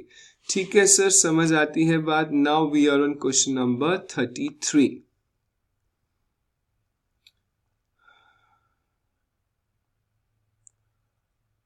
thirty three question क्या कहता है? M N C expect sales to increase by ten percent from the current year level of five million with net profit margin of eight percent and a pay out ratio of thirty percent what financing for the next year will be available for internal sources ये भी important question है अच्छा question है। इसको भी mark करेंगे। M N C company है expect it sales to increase by ten percent मतलब मेरी जितने भी इस साल सेल्स हैं एक्सपेक्ट कर रही है कि सेल्स मेरी दस परसेंट से बढ़ जाए from the current year level of five million आज की जो मेरी सेल है वो फाइव मिलियन है। One million is equal to ten lakhs तो मेरी यहाँ पे कितनी हो गई? फिफ्टी लाख की मेरी सेल आज है और मेरी टेन परसेंट बढ़ जाएगी तो फिफ्टी फाइव लाख सेल हो जाएगी, ठीक है? With net profit margin of eight percent and a pay out ratio of thirty percent net profit मेरा कितना है? एट परसेंट एट परसेंट किसका होता है net profit eight percent of sales का होता है, ठीक है sir eight percent of sales का नेट प्रॉफिट है and a pay out ratio of thirty percent. Pay out ratio का क्या मतलब है? मेरा डिविडेंड जो पे आउट हो रहा है थर्टी परसेंट किसका? नेट प्रॉफिट का। What financing for the next year will be available from internal sources internal sources का मतलब है मेरी कितनी फाइनेंसिंग रिटेन अर्निंग से अवेलेबल है। सारे कंसेप्ट मिक्स हैं। मतलब क्या हुआ कि मेरी 55 लाख की अगले साल सेल होने वाली है। उसका नेट प्रॉफिट कितना होगा? 8 परसेंट ऑफ़ 55 लाख 55 लाख का 8 percent is four lakh forty thousand का नेट प्रॉफिट है, ठीक है? इसका मैं थर्टी परसेंट डिविडेंड दे दूँगा, थर्टी परसेंट पे आउट है तो one lakh thirty two thousand मेरा डिविडेंड है तो बाकी का सेवेंटी परसेंट मेरा रिटेन अर्निंग्स है। रिटेन अर्निंग्स मेरी कितनी बच जाती हैं? Three lakh eight thousand rupees तो मेरा आंसर है three lakh eight thousand rupees ठीक है सर इस हिसाब से मेरे कंसेप्चुअल क्वेश्चंस प्रैक्टिकल क्वेश्चंस बन के आए हैं। कुछ भी मुश्किल नहीं है। अगर आपके कंसेप्ट क्लियर हैं तो आप आराम से इसको डेफिनेटली क्रैक कर सकते हैं। Next we are on question number thirty four हम थर्टी फोर की बात कर रहे हैं। थर्टी फोर में क्या है? Let's see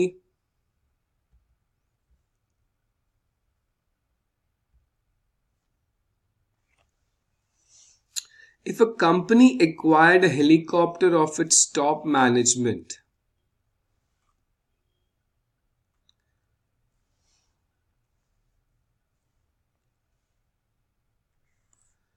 If a company acquired a helicopter for its top management for a certain period on a fixed payment, which of the following will be true regarding the leverage? अगर company ने acquire किया है helicopter, company has acquired helicopter, company has acquired helicopter for its top management for certain period तो मेरा यहाँ पे helicopter require करने का मतलब है एक केस स्टडी जैसा एग्ज़ाम्पल है लीवरेजेस के ऊपर। The company acquire helicopter for its top management certain period period नहीं बताया है। सपोज़ करो इसको फाइव इयर्स एग्ज़ाम्पल में मान लेते हैं। On a fixed payment fixed payment का मतलब है कि मेरी यहाँ पे फिक्स्ड कॉस्ट इन्वॉल्व है। Which the following is true regarding to leverage D O L will increase D F L will increase या D O L will decrease या D F L will remain unchanged मेरा यहाँ पे fixed cost will increase fixed cost increase हो जाएगी। इसका मतलब क्या है? ईबीआईटी विल डिक्रीज और यहाँ पे ईबीआईटी जब मेरा डिक्रीज हो जाएगा तो मेरा जो डीओएल है डीओएल कैसे निकलता है? कंट्रीब्यूशन डिवाइडेड बाय ईबीआईटी ठीक है? कंट्रीब्यूशन मेरा सेम रहेगा। कंट्रीब्यूशन डिवाइडेड बाय ईवीआईटी मैं अगर सेल्स में से माइनस करूँ वेरिएबल कॉस्ट कंट्रीब्यूशन है कंट्रीब्यूशन मेरा सेम रहेगा। Minus fixed cost this will be EBIT तो मेरा ईबीआईटी फिक्स्ड कॉस्ट बढ़ने से विल डिक्रीज अगर मेरा फिक्स्ड कॉस्ट विल डिक्रीज मेरा ईबीआईटी विल डिक्रीज तो ये अगर दस लाख था ईबीआईटी और ये हो जाता है पाँच लाख तो मेरा क्या होगा? डिनोमिनेटेड डीओएल का कम हो जाएगा and similarly DOL will increase क्योंकि मेरा कॉन्ट्रीब्यूशन सेम रहने वाला है तो मेरा DOL will increase case study के हिसाब से लीवरेजेस का क्वेश्चन यहाँ पे पूछा गया है. आई यू गेटिंग मेरा ईबीआईटी अगर फिक्स्ड कॉस्ट बढ़ जाती है and my variable cost will remain same contribution will remain same and my EBIT will decrease and similarly my DOL will increase ठीक है सर समझ आती है नेक्स्ट हम चलते हैं on question number thirty fifth we are on question number thirty fifth thirty fifth भी हमारा थ्योरेटिकल क्वेश्चन है एमएम अप्रोच के लिए पूछ रहा है एम एम अप्रोच हमने कहा पढ़ी थी? M M approach Modigliani and Miller Modigliani and Miller मैंने आपको पढ़ा रखा है which the following is not a valid assumption of M M approach to capital structure capital structure का क्वेश्चन है एम एम अप्रोच का। एम एम अप्रोच में Modigliani and Miller में मैंने आपको एजम्पन्स करा रखी हैं।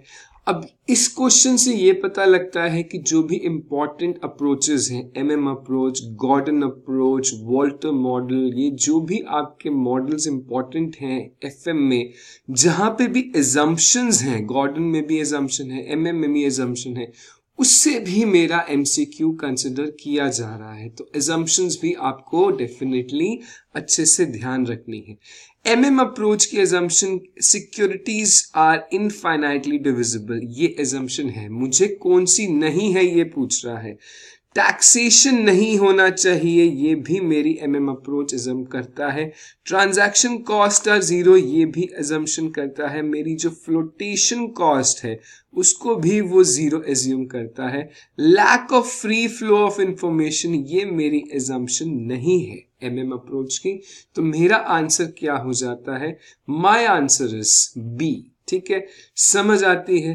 तो यहाँ पे देखने वाली बात यह है कि अप्रोचेस जो मेरी हैं, वो भी बहुत इंपॉर्टेंट हैं और मेरी जितनी भी बात यहाँ करी जा रही है, जितने भी मैंने यहाँ पे अप्रोचेस देखी हैं, उसके हिसाब से सारी एजम्पन्स भी बहुत इंपॉर्टेंट है। Question number thirty six which of the following will not have impact on firm treasury position firm की ट्रेजरी पोजीशन का क्या मतलब है कि मेरी जो फर्म की लिक्विडिटी है वो इफ़ेक्ट नहीं होगी?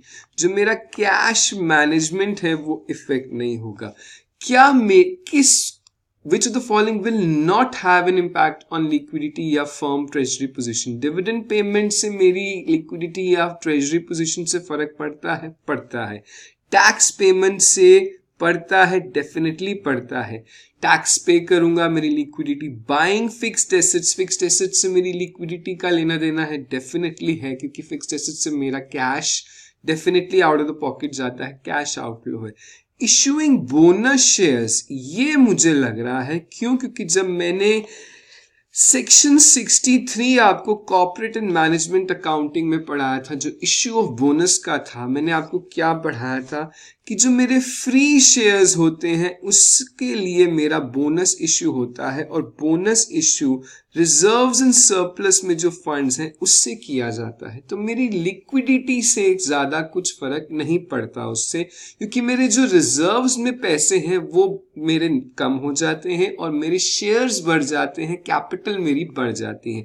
लिक्विडिटी या फर्म की ट्रेजरी पोजिशन मेरी बोनस शेयर्स के इश्यू से इफ़ेक्ट नहीं होती है। तो मेरा यहाँ पे टोटली कंसेप्चुअल क्वेश्चन था और कुछ भी नहीं है। ट्रेजरी पोजीशंस कई बच्चों को ट्रेजरी पोजीशन का ही मतलब नहीं समझ आया होगा। सिर्फ़ conceptual question of basic FM तो यहाँ पे इशुइंग बोनस शेयर्स और बोनस शेयर्स को मैंने कहा से कॉपरेट एंड मैनेजमेंट अकाउंटिंग के शेयर्स के चैप्टर में जो हम पढ़ते हैं या कंपनीज़ एक्ट में हम पढ़ते हैं सेक्शन 63 उससे लिंक करके इसका आंसर निकाल। ठीक है सर समझ आती है? We are on question number thirty seven thirty seven question की बात कर रहे हैं। थर्टी सेवन क्वेश्चन देखते हैं। थर्टी सेवेंथ में क्या है we are on thirty seventh leverages की बात है If the firm has a DOL of 6 at a certain production level, if the sales of the firm rise by 1%, it implies that मेरा L degree of operating leverage कैसे निकलता है percentage change in EBIT divided by percentage change in sales ठीक है formula याद आएगा exam में तभी क्वेश्चन होगा। डीओएल मुझे सिक्स बता रहा है दिस इज़ सिक्स एंड मेरा at certain production the sales of the firm rise by one percent तो अगर मेरी सेल वन परसेंट से बढ़ जाती है दिस इज़ वन परसेंट तो मेरा वन परसेंट इंटू सिक्स तो मेरा परसेंटेज चेंज इन ईबीआईटी भी सिक्स से होगा। EBIT will also rise by six percent right तो मेरा formula percentage change in EBIT divide percentage change in sales ये मुझे सिक्स बता रहा है, ये मुझे वन परसेंट बता रहा है तो मेरा परसेंटेज चेंज इन ईबीआईटी भी सिक्स परसेंट से राइज कर जाता है। ठीक है sir are you with me now we are on question number thirty eight thirty eight question देखते हैं। थर्टी एट क्वेश्चन क्या कह रहा है? Thirty eight question, thirty eight question ये कह रहा है कि कि determination of safety stock requires a trade off between determination of safety stock requires a trade off between सबसे पहले सेफ्टी स्टॉक हमने पढ़ा कहा था? वर्किंग कैपिटल में हम सेफ्टी स्टॉक पढ़ते हैं। Stock requires a trade off between carrying cost and stock out cost safety stock EOQ की कंपटीशन में प्रैक्टिकल क्वेश्चंस में निकलता है। कैरिंग कॉस्ट और स्टॉक आउट कॉस्ट को डिटरमाइन करके ट्रेड ऑफ़ करके इसको निकाला जाता है। ठीक है?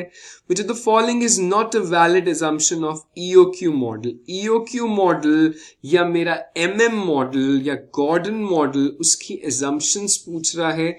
क्वेश्चंस ऐसे आ रहे हैं तो इसका मतलब ये है you have to be very well prepare मेरे को एजम्पन्स हर मॉडल की सारी एजम्पन्स आनी चाहिए, और मुझे यहाँ पे सारी एजम्पन्स के हिसाब से मुझे एम सी क्यूज यहाँ दिख रहे हैं।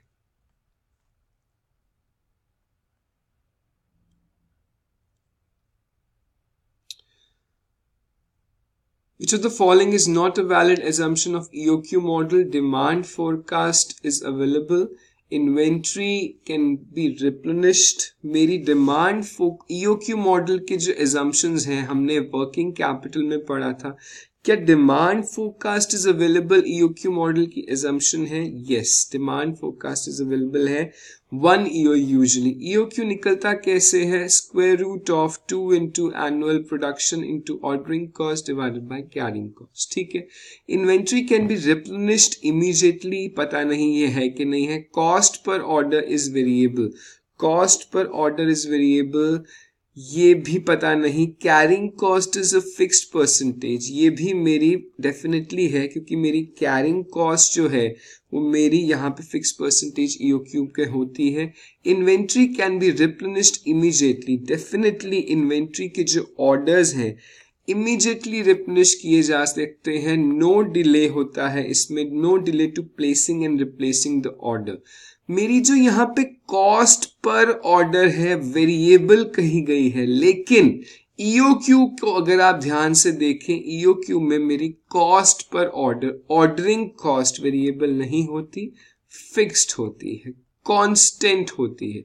तो छोटा सा ईओक्यू e का कंसेप्ट कि वहाँ पे cost per order ordering cost variable नहीं है फिक्स्ड है, उसके ऊपर भी यहाँ पे क्वेश्चन बन जाता है ईओक्यू की एजम्पन्स के लिए right so question number fortieth हम क्वेश्चन नंबर फोर्टियथ पे हैं.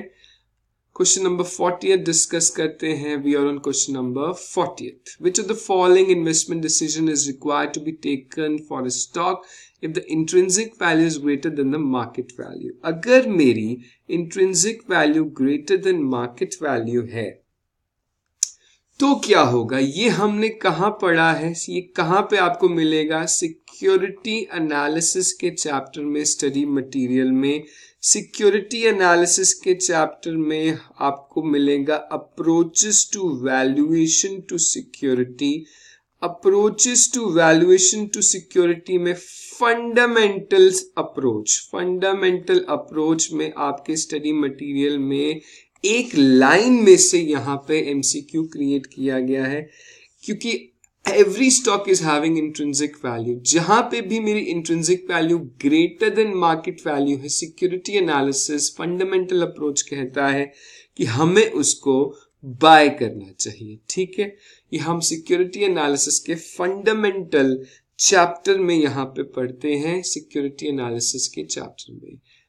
अगर intrinsic value is greater than market value then you should buy the security next हम नेक्स्ट क्वेश्चन पे हैं we are on question number forty first हम forty first पे हैं monthly demand of raw material is one fifty units ordering cost per unit is eight annual carrying cost is two EO Q under the above circumstances will be मेरा E O Q working capital का E O Q का basic question है।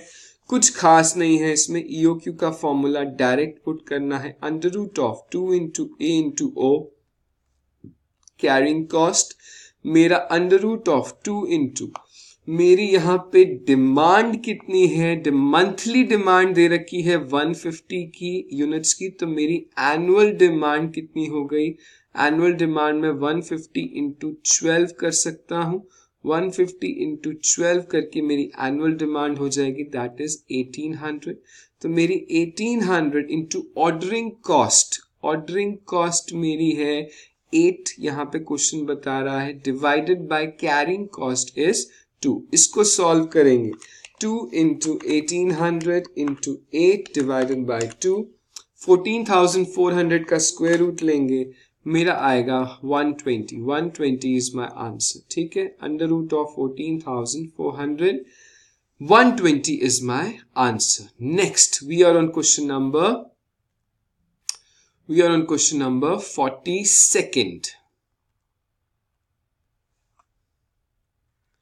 question number forty second EPS is equal to EPS का फॉर्मूले के ऊपर question बनाया गया है. EPS is equal to profit after tax divided by number of shares तो यहाँ पे ये दो ऑप्शंस कंफ्यूज करेंगे. Profit after tax divided by number of shares of authorised capital या profit after tax divided by number of shares of issued capital क्या लग रहा है आपको? डेफिनेटली इश्यूड कैपिटल क्योंकि हम EPS e earnings per share issued share के हिसाब से निकालते हैं ऑथराइज के लिए नहीं निकालते हैं। ठीक है बेसिक ईपीएस के ऊपर यहाँ पे क्वेश्चन है। Next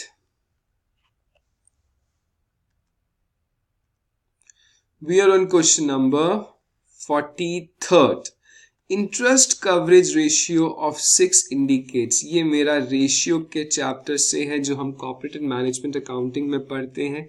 यहाँ पे इंटरेस्ट कवरेज रेशियो का फॉर्मूला याद आएगा, तभी क्वेश्चन होगा इंटरेस्ट कवरेज रेशियो क्या है? EBIT divided by interest on dept interest coverage ratio six indicate करता है कि मेरा ईबीआईटी जो सिक्स टाइम ऑफ़ इंटरेस्ट है, क्योंकि मेरा ईबीआईटी इंटरेस्ट को मैं यहाँ पे ले जाऊँ तो सिक्स टाइम ऑफ़ इंटरेस्ट है तो मेरा आंसर इज़ सी ठीक है? Interest coverage ratio is always EBIT divided by interest on debts. Next, we are on question number 44th. Debtors turnover ratio. Debtors turnover ratio भी मेरा ratio के chapter से question है. डेटर टर्नओवर रेशियो क्या बताता है? Debtors in relation to credit sales मेरा debtors relation to credit sales के हिसाब से डेटर टर्नओवर रेशियो हम कॉपरेट एंड मैनेजमेंट अकाउंटिंग में रेशियोज पढ़ते हैं, लेकिन यहाँ पे हमारे एफ़ एम में भी क्वेश्चन आ रहे हैं। ठीक है। Consider the following data and compute the total sales amount मुझे टोटल सेल्स अमाउंट बताने को पूछा है कि, सर, मुझे टोटल सेल्स बता दीजिए। Closing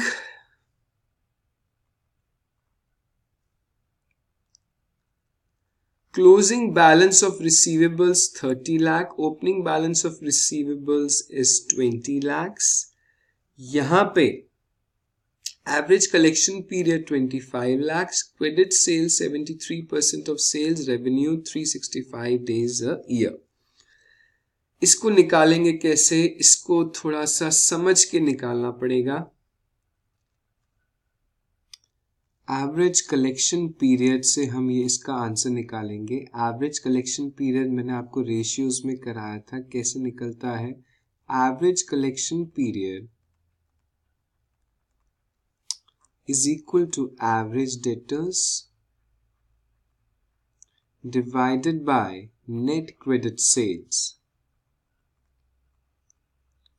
Into three sixty five या जितना भी टाइम पीरियड यहाँ पे क्वेश्चन बता रहा है।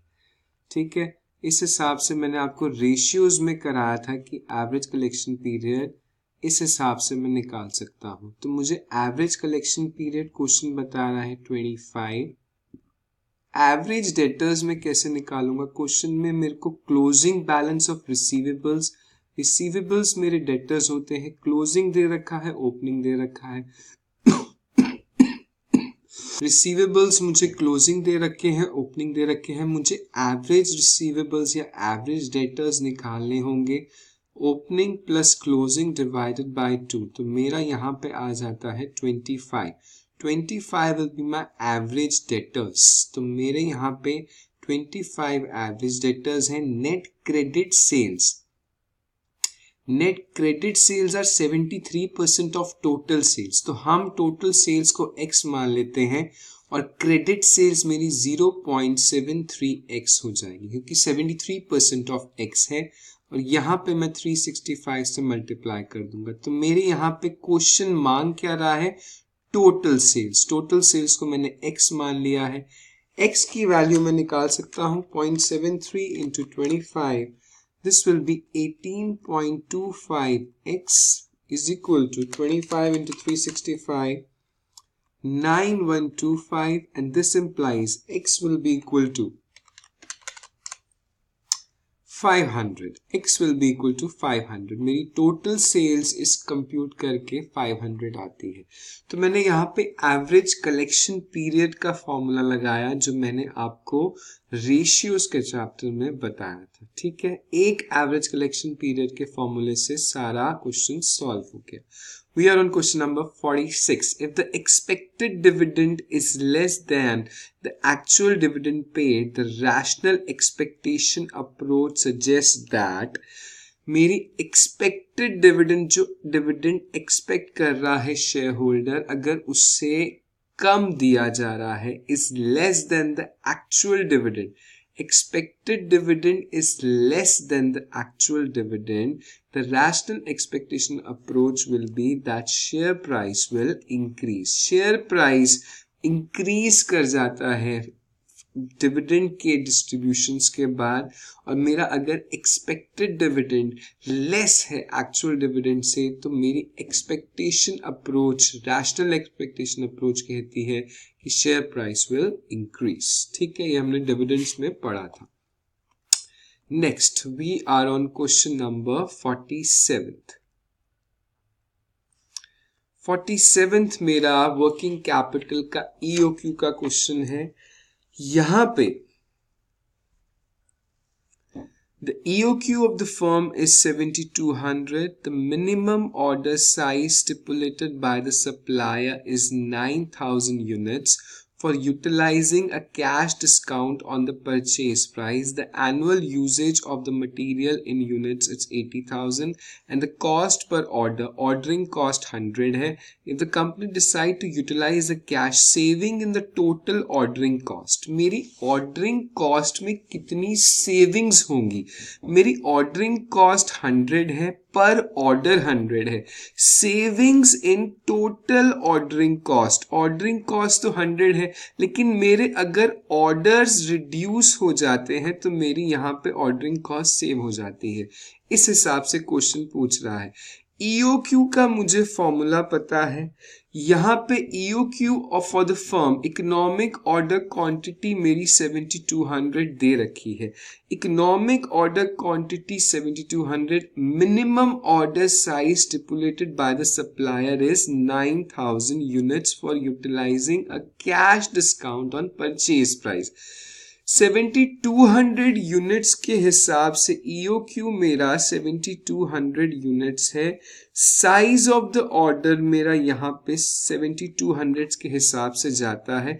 और मुझे अगर डिस्काउंट लेना है कैश डिस्काउंट तो मुझे 9000 का ऑर्डर देना है। क्वेश्चन फिर पढ़ेंगे for minimum order size stipulate by the supply is 9000 for utilizing a cash discount on the purchase price the annual usage for the material in units is 80000 annual usage annual consumption मेरी कितनी है? Annual consumption 80,000 units मेरे साल के हैं and the cost per order is 100 तो अगर मैं ईओक्यू e के हिसाब से ऑर्डर मंगाऊं और मेरी 80,000 के हिसाब से कंजम्पशन है तो नंबर ऑफ़ ऑर्डर्स कितने हो जाएँगे? 80,000 मुझे साल के लिए चाहिए और 7200 के हिसाब से मैं मंगा रहा हूँ। 80,000 divided by 7200 80,000 units this will come as 11.11 तो इसको मैं 12 ऑर्डर्स मान सकता हूँ, क्योंकि 0.11 का तो कोई ऑर्डर नहीं होगा। मेरे 12 ऑर्डर लगते हैं, अगर मैं 7200 के हिसाब से निकालता हूँ, और मेरी ऑर्डरिंग कॉस्ट हंड्रेड रुपीज़ है तो मेरी बारह सौ रुपए की ऑर्डरिंग कॉस्ट लगती है। हंड्रेड रुपीज़ पर ऑर्डर मेरी ऑर्डरिंग कॉस्ट है। अगर मुझे कैश डिस्काउंट चाहिए तो मुझे मिनिमम मिनिमम ऑर्डर साइज़ 9000 का होना चाहिए। मिनिमम का है मैक्सिमम इसके आसपास हो सकता है। तो मुझे 80,000 यूनिट्स मुझे साल भर चाहिए। तो मैं कितने सेव कर सकता हूँ ऑर्डरिंग कॉस्ट में? 90,000 डिवाइडेड बाय 80,000 में 90,000 डिवाइडेड बाय 90,000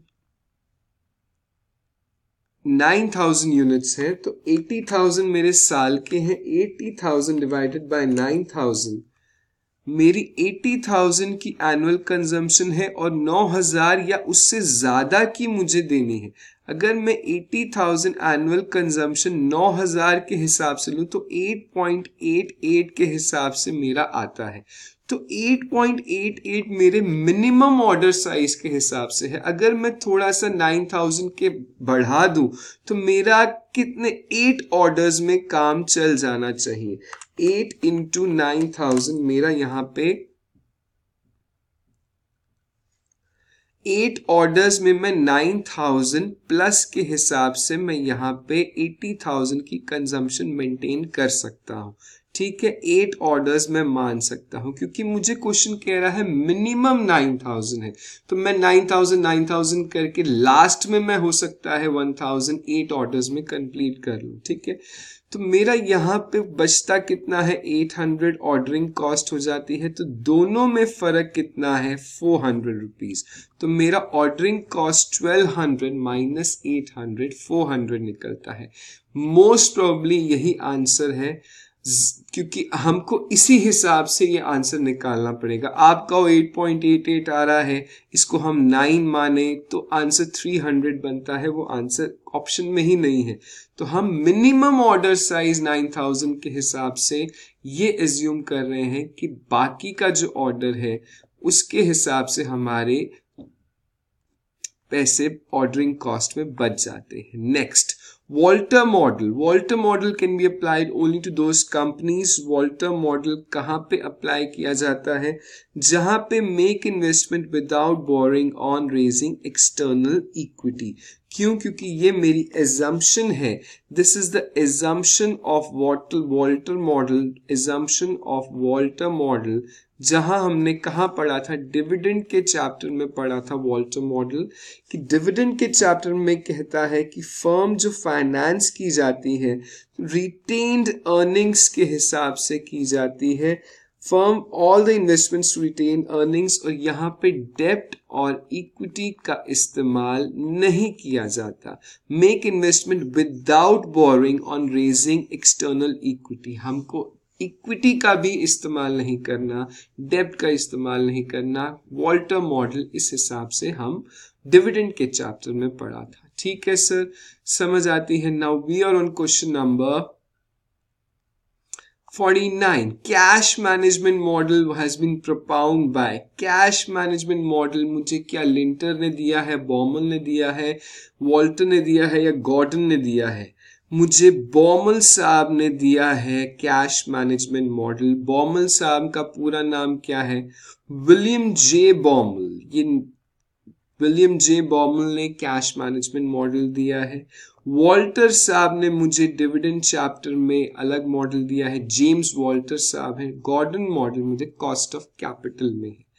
ठीक है, गॉर्डन गॉर्डन का model. The weighted average cost of capital computation weighted average cost of capital जो मेरा WACC है क्या कंप्यूट करता है weighted average cost of capital compute करता है क्या assign more more weight on equity assign assign more weight on debentures exclude retained earnings assign weights based on market value और book value मेरा answer D है। क्यों? क्योंकि जब भी मैं, जब भी मैंने weighted average cost of capital का कॉस्ट ऑफ़ कैपिटल चैप्टर में बात करी तो मैं WACC कैसे निकालता था? वेट्स निकाल के cost of equity cost of debt cost of retained earning cost of preference की वेट्स लेके मैं उसको मल्टीप्लाई करके निकालता था right next is question number fifty one The liability side of Shivan Lim, Shivani Limited balance sheet shows an equity capital of 25 lakh, retained earnings of 50 lakh, face value of its share is 100 each and the market value is 300 each if the investor expects a rate of return of 18% and its flotation cost of fresh issue is 5%, what is the KRE? KRE मुझे पूछ रहा है के R E cost of retained earnings है और मेरी investor expectation 18 percent के हिसाब से है। के आर ई मेरा मोस्टली के ई से इक्वल होता है। मुझे यहाँ पे इक्विटी की बात करी गई है, लेकिन नंबर ऑफ़ इक्विटी शेयर्स नहीं बताया रिटेन अर्निंग्स बताई हैं। और यहाँ पे flotation cost cost of flotation cost is five percent तो फ्लोटेशन कॉस्ट क्या मुझे रिटेन अर्निंग के लिए वैल्यूएबल होती है, नहीं होती है? क्यों? क्योंकि रिटेन अर्निंग्स में मेरी फ्लोटेशन कॉस्ट नहीं लगती है इक्विटी में लगती है। तो यहाँ पे मैं इस क्या कह सकता हूँ कि my K E will be equal to K R E and मेरा यहाँ पे 18 परसेंट ही कॉस्ट ऑफ़ रिटेन अर्निंग्स रहेगा। बेसिक कंसेप्ट मैंने यूज़ करे। Next we are on question number 52nd 52nd the capital structure of Neel limited is as under capital structure मुझे बताया गया है, एक कंपनी का। Equity plus reserves in surplus 200 lakh 10 percent preference shares 12% loans, what would be the approximate EBIT so that the EPS is nil? Assume tax rate is 30%. ठीक है sir हमें क्या पता है कि मुझे sales minus variable cost contribution मिलता है contribution minus fixed cost EBIT मिलता है what should be the EBIT मुझे ईबीआईटी ढूंढना है माइनस में इंटरेस्ट करूँ तो मुझे ईबीटी मिलता है, माइनस टैक्स करूँ अर्निंग्स आफ्टर टैक्स मिलता है, माइनस प्रेफरेंस डिविडेंड करूँ earnings available for equity shares मिलता है divided by number of equity shares करूँ तो मेरा आता है ईपीएस e और मुझे ईपीएस e यहाँ पे ज़ीरो बात कर रहा है। मुझे कैपिटल स्ट्रक्चर में equity and reserves and surplus दिख रहे हैं मैं ईबीआईटी e को एक्स मान सकता हूँ, मुझे sales variable cost contribution fix cost का कोई लेना देना नहीं है। अगर मेरी ईबीआईटी e एक्स है तो मेरा 12 परसेंट लोन है 150 के हिसाब से 12 परसेंट का लोन कितना बनता है? 150 fifty into twelve eighteen lakhs का मेरा यहाँ पे लोन बनता है। EB earning before earning before tax will be equal to x minus x minus 18 tax का मेरा क्या है? 35 परसेंट मेरा टैक्स है. 35 परसेंट मेरा टैक्स रेट है. ईबीआईटी को हमने एक्स माना है. Interest that is 12 percent of 150 lakhs will be 18 lakhs तो EBT will be X minus 18 okay तो हमें यहाँ पे टेन परसेंट प्रेफरेंस शेयर्स दिख रहे हैं 50 लाख के। तो मेरा प्रेफरेंस डिविडेंड कितना हो जाएगा? 10 percent of 50 lakh five lakh तो यहाँ पे मेरा प्रेफरेंस डिविडेंड आ गया। Number of equity shares equity और रिज़र्व एंड सरप्लस इकट्ठे दे रखे हैं। तो मेरे नंबर ऑफ़ इक्विटी शेयर्स यहाँ पे नहीं बता रखे। और मुझे यहाँ पे ये कह रहा है ईबीआईटी e बताइए so that EPS is nil EPS का मेरा फॉर्मूला ये है कि earnings available for equity share holders divided by number of equity shares मेरा ईपीएस e कब निल होगा? जब मेरी अर्निंग्स का ज़ीरो होंगी या number of equity share zero हो सकते हैं। जब मेरी अर्निंग्स निल होंगी और इक्विटी शेयर्स तो मेरे क्वेश्चन में दे ही नहीं रखे। मेरी जब earnings after earnings available for equity share holders अगर निल है तो मेरा ईपीएस e निल है। प्रेफरेंस डिविडेंड मेरा फाइव आ रहा है तो this means my earnings after tax is also five अब मुझे यहाँ पे टैक्स माइनस करना है और मुझे एक इक्वेशन बन जाती है X minus eighteen minus tax tax is thirty five percent thirty five percent of EBT तो zero point three five thirty five percent zero point three five मैं थर्टी फाइव परसेंट को कह सकता हूँ ऑफ़ ईबीटी ईबीटी ये है। तो इसको मैं इज़ इक्वल टू फाइव कह सकता हूँ। Five is my earnings after tax इसको मैं कैलकुलेट करूँ तो मेरा आ जाएगा zero point zero point six five X is equal to sixteen point seven zero and my X will be equal to twenty five point six nine मतलब मेरा जो ई बी आई टी है twenty six point six twenty five point six nine आ जाएगा minus interest करके E B T आ जाएगा और tax thirty five percent आ जाएगा। तो my earning before interest and tax earnings before interest and tax जिसमें मेरा अर्निंग बिफोर इंटरेस्टिंग टैक्स जहाँ पे ईपीएस e नील है, मेरा क्या आएगा? 25.69 I you with me yes मैंने कैसे किया? सिर्फ़ और सिर्फ़ इक्वेशन को पुट किया। इक्वेशन को पुट करके एक्स को कंप्यूट किया और यहाँ पे 25.69 आ गया। ठीक है सर समझ आती है बात? ठीक है, समझ आती है। Now we are on question number 53 हमारे क्वेश्चंस खत्म होने वाले हैं। ABC Limited books of account show a profit from operations. E prof shows a profit from operation earning before depreciation, interest and tax. Depreciation, interest and tax से पहले की earnings 500 lakhs है. It paid 12% on debt of 1000 lakhs, depreciation 100 lakhs, 35% profit after tax. मुझे PAT निकालना है simple formula लगेगा earning before depreciation interest and tax 500 सबसे पहले मैं क्या माइनस करूँगा? डेप्रीसिएशन क्वेश्चन बता रहा है 100 लैक्स मेरे आ जाएँगे 400 माइनस में करूँगा यहाँ पे interest this is EBIT interest मेरा कितना है? 12 परसेंट ऑफ़ डेप्ट ऑफ़ थाउज़ेंड तो थाउज़ेंड का 12 परसेंट आता है 120 this is my earnings after earnings before tax this is 280 minus में टैक्स करूँगा 35 परसेंट टू का 35 परसेंट अगर मैं करूँ 280 का 35 percent 98 minus 280 this will come as 182 this will be my profit after tax या earnings after tax 182 lakh rupees are you with me yes तो इस हिसाब से मेरा यहाँ पे कैलकुलेट हो जाता है earning या profit after tax. Now we are on question number 54. As you increase the number of stocks in the portfolio, the systematic risk is likely to likely to systematic risk मेरा क्या होता है? Non diversifiable risk और मेरे stocks portfolio में जितने भी हैं, दो हैं कि दस हैं कि हंड्रेड हैं, क्या मैं नॉन डाइवर्सिफाइबल रिस्क जो मेरे हाथ में ही नहीं है, उसको कम या ज़्यादा कर सकता हूँ, नहीं कर सकता it will remain constant answer is a it will remain constant non systematic effect होता है, लेकिन सिस्टमैटिक इफ़ेक्ट नहीं होता है.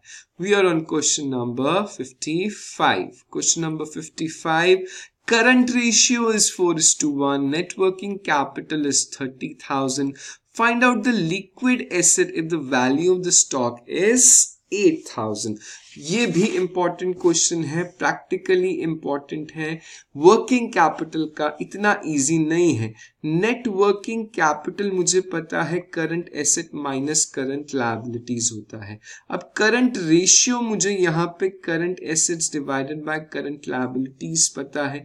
ये मुझे कहा गया current ratio is four is to one तो मैं फोर इज़ टू वन को लिख सकता हूँ.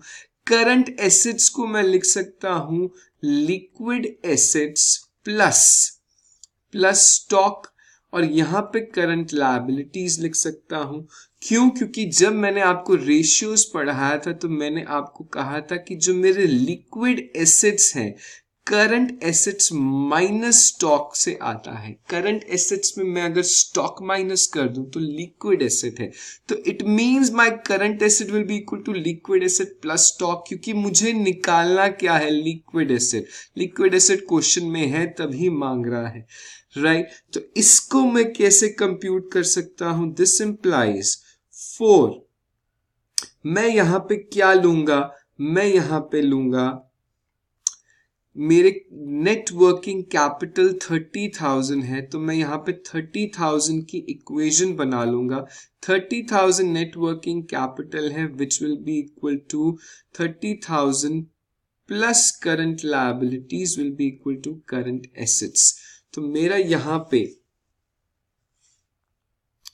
thirty thousand plus current liabilities is equal to current assets को मैं ऐसे भी लिख सकता हूँ। कैसे? कि मैं करंट लाइबिलिटीज को कह सकता हूँ current assets minus thirty thousand ठीक है? तो मैं यहाँ पे लिखूँगा, मैं यहाँ पे करंट एसेट्स को अगर एक्स मान लू करंट एसेट्स को एक्स मान लू और करंट लाइबिलिटीज को यहाँ पे ये पुट कर दू एक्स माइनस थर्टी थाउज़ेंड तो मेरी एक्स क्या निकल आएगा? Four X minus one lakh twenty thousand is equal to x this implies x will be equal to 40,000 मेरे यहाँ पे x निकल आया 40,000 x is my current asset अगर मेरे current asset 40,000 है तो this implies current liabilities will be equal to 40,000 minus 30,000 which will be equal to 10,000 मेरे यहाँ पे current liabilities 10,000 आ गई ठीक है सर अब मेरे को पता है कि मुझे लिक्विड एसेट्स निकालने हैं and my current assets will be equal to liquid assets liquid assets plus stock current assets is equal to liquid assets plus stock current assets मेरे फोर्टी थाउज़ेंड आ चुके हैं। लिक्विड एसेट्स में निकाल रहा हूँ L A plus stock stock मुझे दे रखा है eight thousand this implies liquid assets will be equal to thirty two thousand सिर्फ़ और सिर्फ़ कैलकुलेशन है thirty two thousand is my answer liquid asset का कंसेप्ट यहाँ पे लगा, तभी मैंने करंट एसेट को लिक्विड एसेट प्लस स्टॉक को कंसिडर किया. करंट रेशियो का फॉर्मूला लगा लिक्विड एसेट्स का कंसेप्ट लगा, और नेटवर्किंग कैपिटल का वर्किंग कैपिटल का भी फॉर्मूला लगा ठीक है सर थोड़ा सा मुश्किल था, लेकिन मैनेजेबल था। एग्ज़ाम में कई बच्चों का नहीं निकला होगा। A sum of fifty thousand is invested at twelve percent per annum for six years what will be the present value of its maturity value assuming the required rate of return is ten percent simple सा formula है। मेरे को present value निकालनी है। Fifty thousand को मैंने क्या करना है? Fifty thousand is invested at twelve percent for years तो मेरी यहाँ पे कितने रे, कितने परसेंटेज के हिसाब से ट्वेल्व परसेंट के हिसाब से यहाँ पे twelve percent plus twelve percent plus twelve percent one two three four five six ये मेरी आ जाएगी। Fifty thousand plus twelve percent दो, तीन, चार, पाँच छ this will come as nine eight six nine one मैं इसको प्रेजेंट वैल्यू फैक्टर से मल्टीप्लाई करूँगा। Present value factor of ten percent ten percent of six year मेरी यहाँ पे nine eight six nine one into present value factor ten percent का six years के हिसाब से टेन परसेंट का one divided by one point ten six time is equal to करूँगा मैं। सिक्स टाइम मेरे पास आएगा zero point five six four तो मेरा आ जाता है nine eight six nine one से मल्टीप्लाई करके five five seven zero eight five five seven zero eight approximate आया है और मेरा आंसर सबसे nearest five five six six seven निकलता है, ठीक है? फिफ्टी थाउज़ेंड इन्वेस्ट किया जा रहा है ट्वेल्व परसेंट के हिसाब से छह साल के लिए। What will be the present value मतलब मेरा फिफ्टी थाउज़ेंड छह सालों के लिए इन्वेस्ट किया गया हर साल। यहाँ one two three four five six और ट्वेल्व परसेंट उस पर रिटर्न आ रहा है। तो मैंने पहले इसकी फ्यूचर वैल्यू निकाली। और जो मेरी वैल्यू यहाँ पे है, उसकी मैंने प्रेजेंट जो what will the present value of its maturity value ये मेरी मेच्योरिटी वैल्यू निकली nine eight six nine one और उसकी मुझे प्रेजेंट वैल्यू निकालनी है। मतलब यहाँ पे मेरा nine eight six nine one हो जाएगा और मुझे यहाँ पे उसकी प्रेजेंट वैल्यू के लिए मुझे प्रेजेंट वैल्यू फैक्टर छह साल से मल्टीप्लाई करना पड़ा। ठीक है? मेरा टाइम वैल्यू ऑफ़ मनी और कैपिटल बजटिंग का यहाँ क्वेश्चन ऐसे बनता है। Now we are on question number fifty seventh fifty seventh question cost of capital से मुझे दिख रहा है। लास्ट पेज है मेरा इस एफ़ के पेपर का।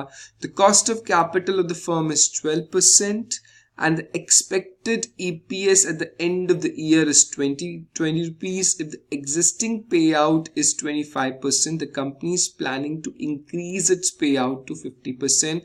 What will be the effect of the change in the market price per share of the company as per the Gordon model if the reinvestment rate of the company is 15%?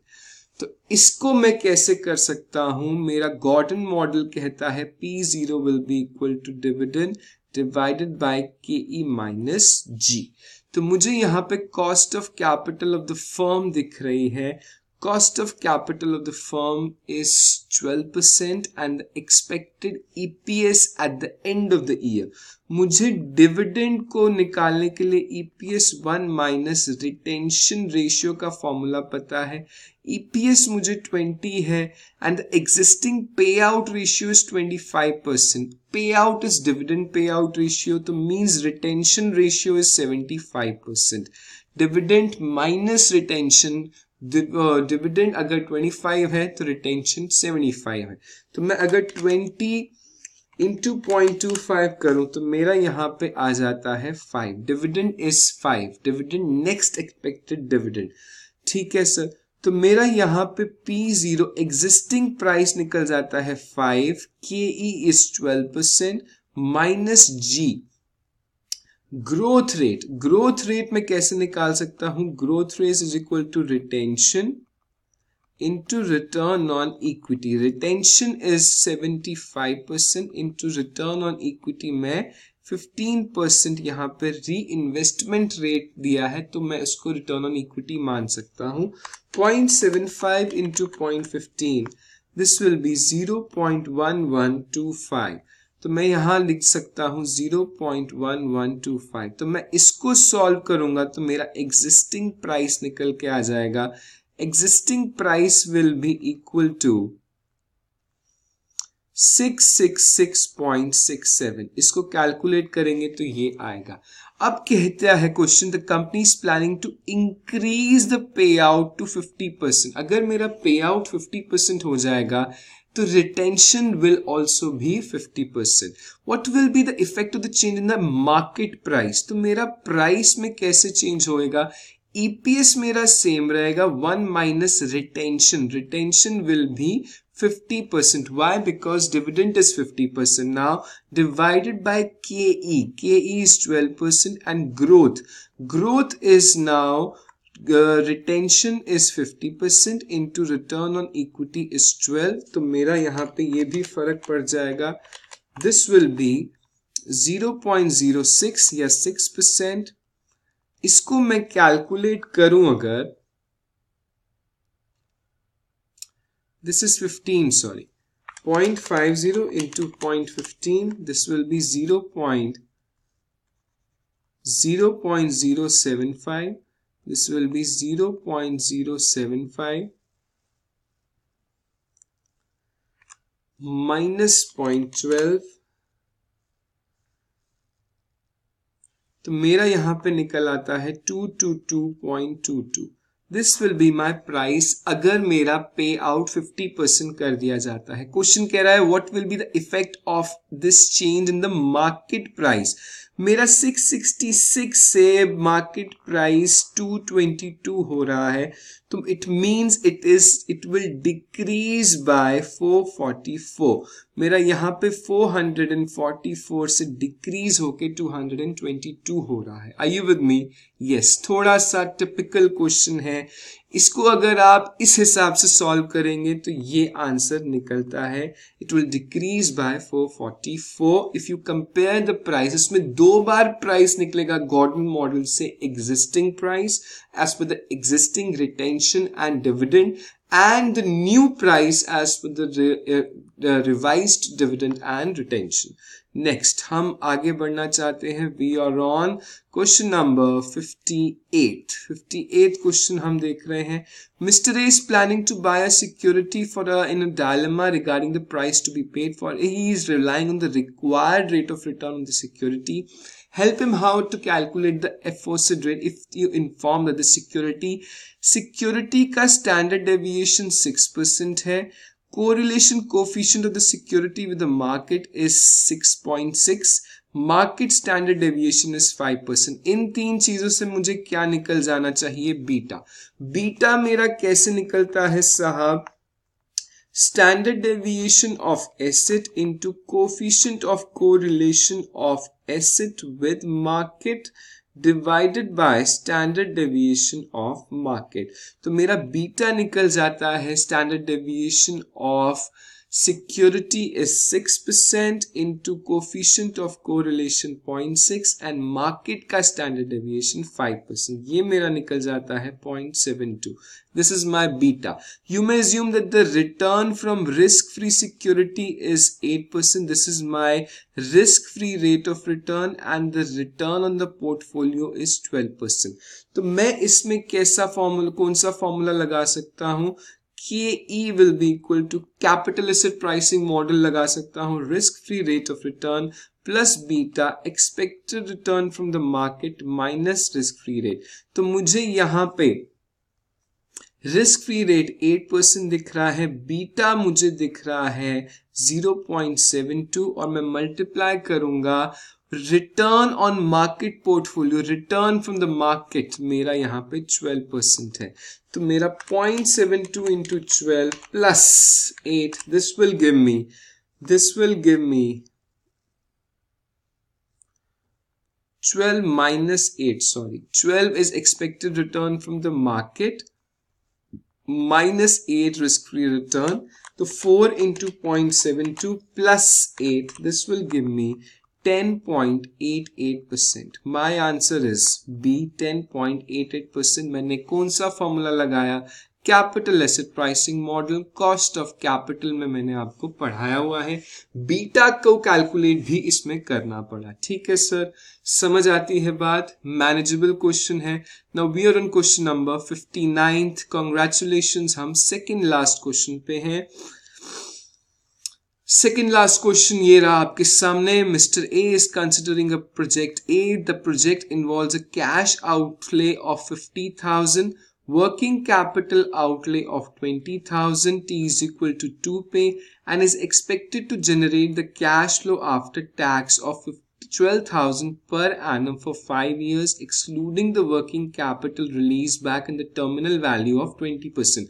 What would be you advice to the company using the net present value मुझे NPV निकालना है ten percent के हिसाब से। NPV बता दीजिए साहब। Ten percent के हिसाब से। अब मुझे ये देखना है। एनपीवी मैंने आपको बहुत अच्छे से करा रखा है। इसको मैं कैसे कैलकुलेट करूँ? मुझे दिख रहा है firm is considering project the project involve a cash outlay T is equal to zero पे फिफ्टी थाउज़ेंड आउटले है तो मतलब ये मेरा present values of cash outflow बन जाता है।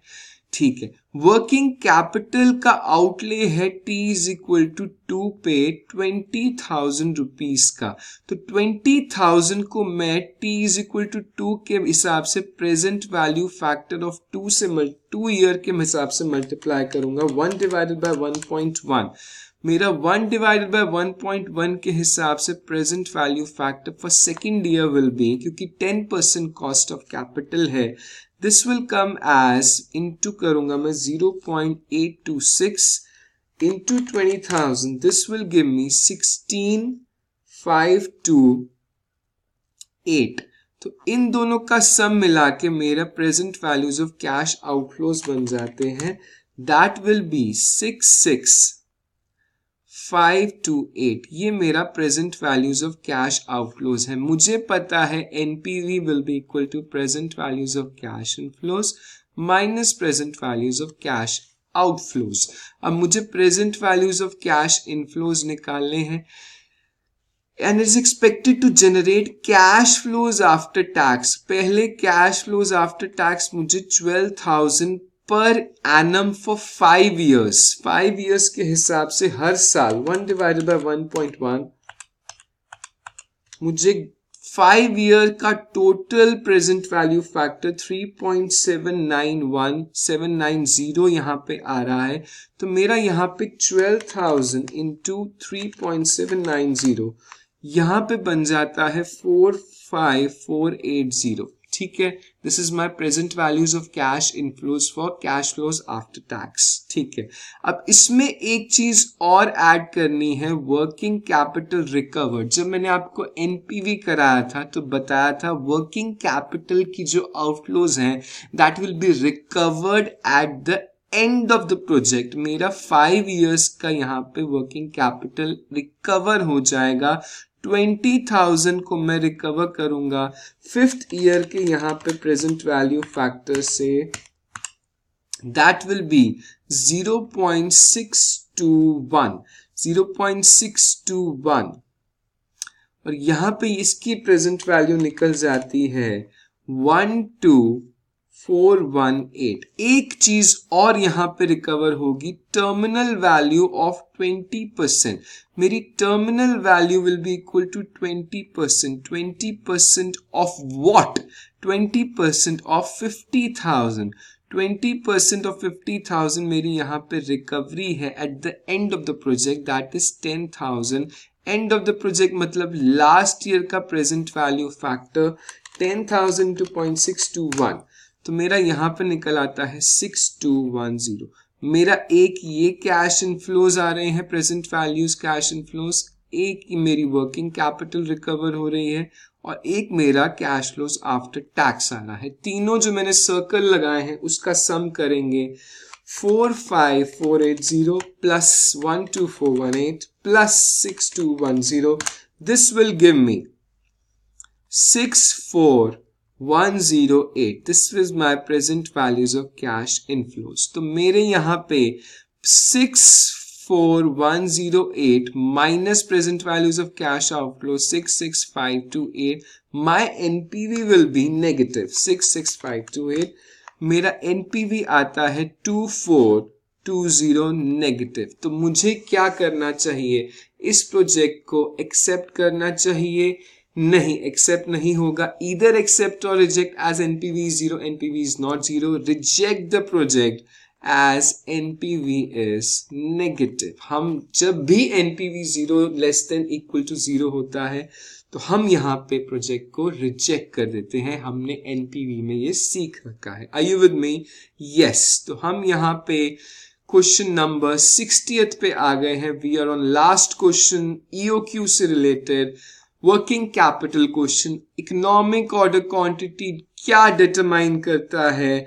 Economic order quantity the order size that minimizes the total inventory cost को डिटरमाइन करता है। ये हमने कहा पढ़ा था? वर्किंग कैपिटल के चैप्टर में पढ़ा था राइट तो this is a small this is a video आज हमने क्या किया? आज हमने ऑल द सिक्सटी क्वेश्चन यहाँ पे मेरा एफएम का पार्ट खत्म होता है। I have discussed all sixty question with you इसके सॉल्यूशंस कैसे आ रहे हैं? यू आर अवेयर नाउ इसको प्रैक्टिस कीजिए। आपका, आपने दिसंबर में एग्ज़ाम दिया है तो आप क्रॉस चेक कर लीजिए। अगर आप जून में एग्ज़ाम देने वाले हैं जून 20 दिसंबर 20 then also these questions are very important because यहाँ से पता लगता है कि इंस्टीट्यूट कैसा लेवल रखने वाला है आने वाले एग्ज़ाम्स में। तो this was a video around two hours में हमने यहाँ पे सारे क्वेश्चन सॉल्व कर लिए हैं। I wish I wish you good luck इसको मैक्सिमम स्टूडेंट्स के साथ शेयर कीजिए। क्योंकि हमारे लिए ये जून 20 प्लस दिसंबर 20 दोनों स्टूडेंट्स के लिए वेरी इंपॉर्टेंट है और जो मेरे दिसंबर 19 के स्टूडेंट्स हैं, इसको क्रॉस चेक करके अपने आंसर्स चेक कर सकते हैं thank you very much for watching थोड़ा सा लेंदी हो गई वीडियो टू आवर्स से ज़्यादा बट मैंने सारे क्वेश्चंस आपको सॉल्व करा दिए thank you very much for watching stay connected stay blessed if you new to my channel do like share and subscribe Thank you very much. Goodbye. God bless. Goodbye. Bye bye. Jai Hind. Bye bye.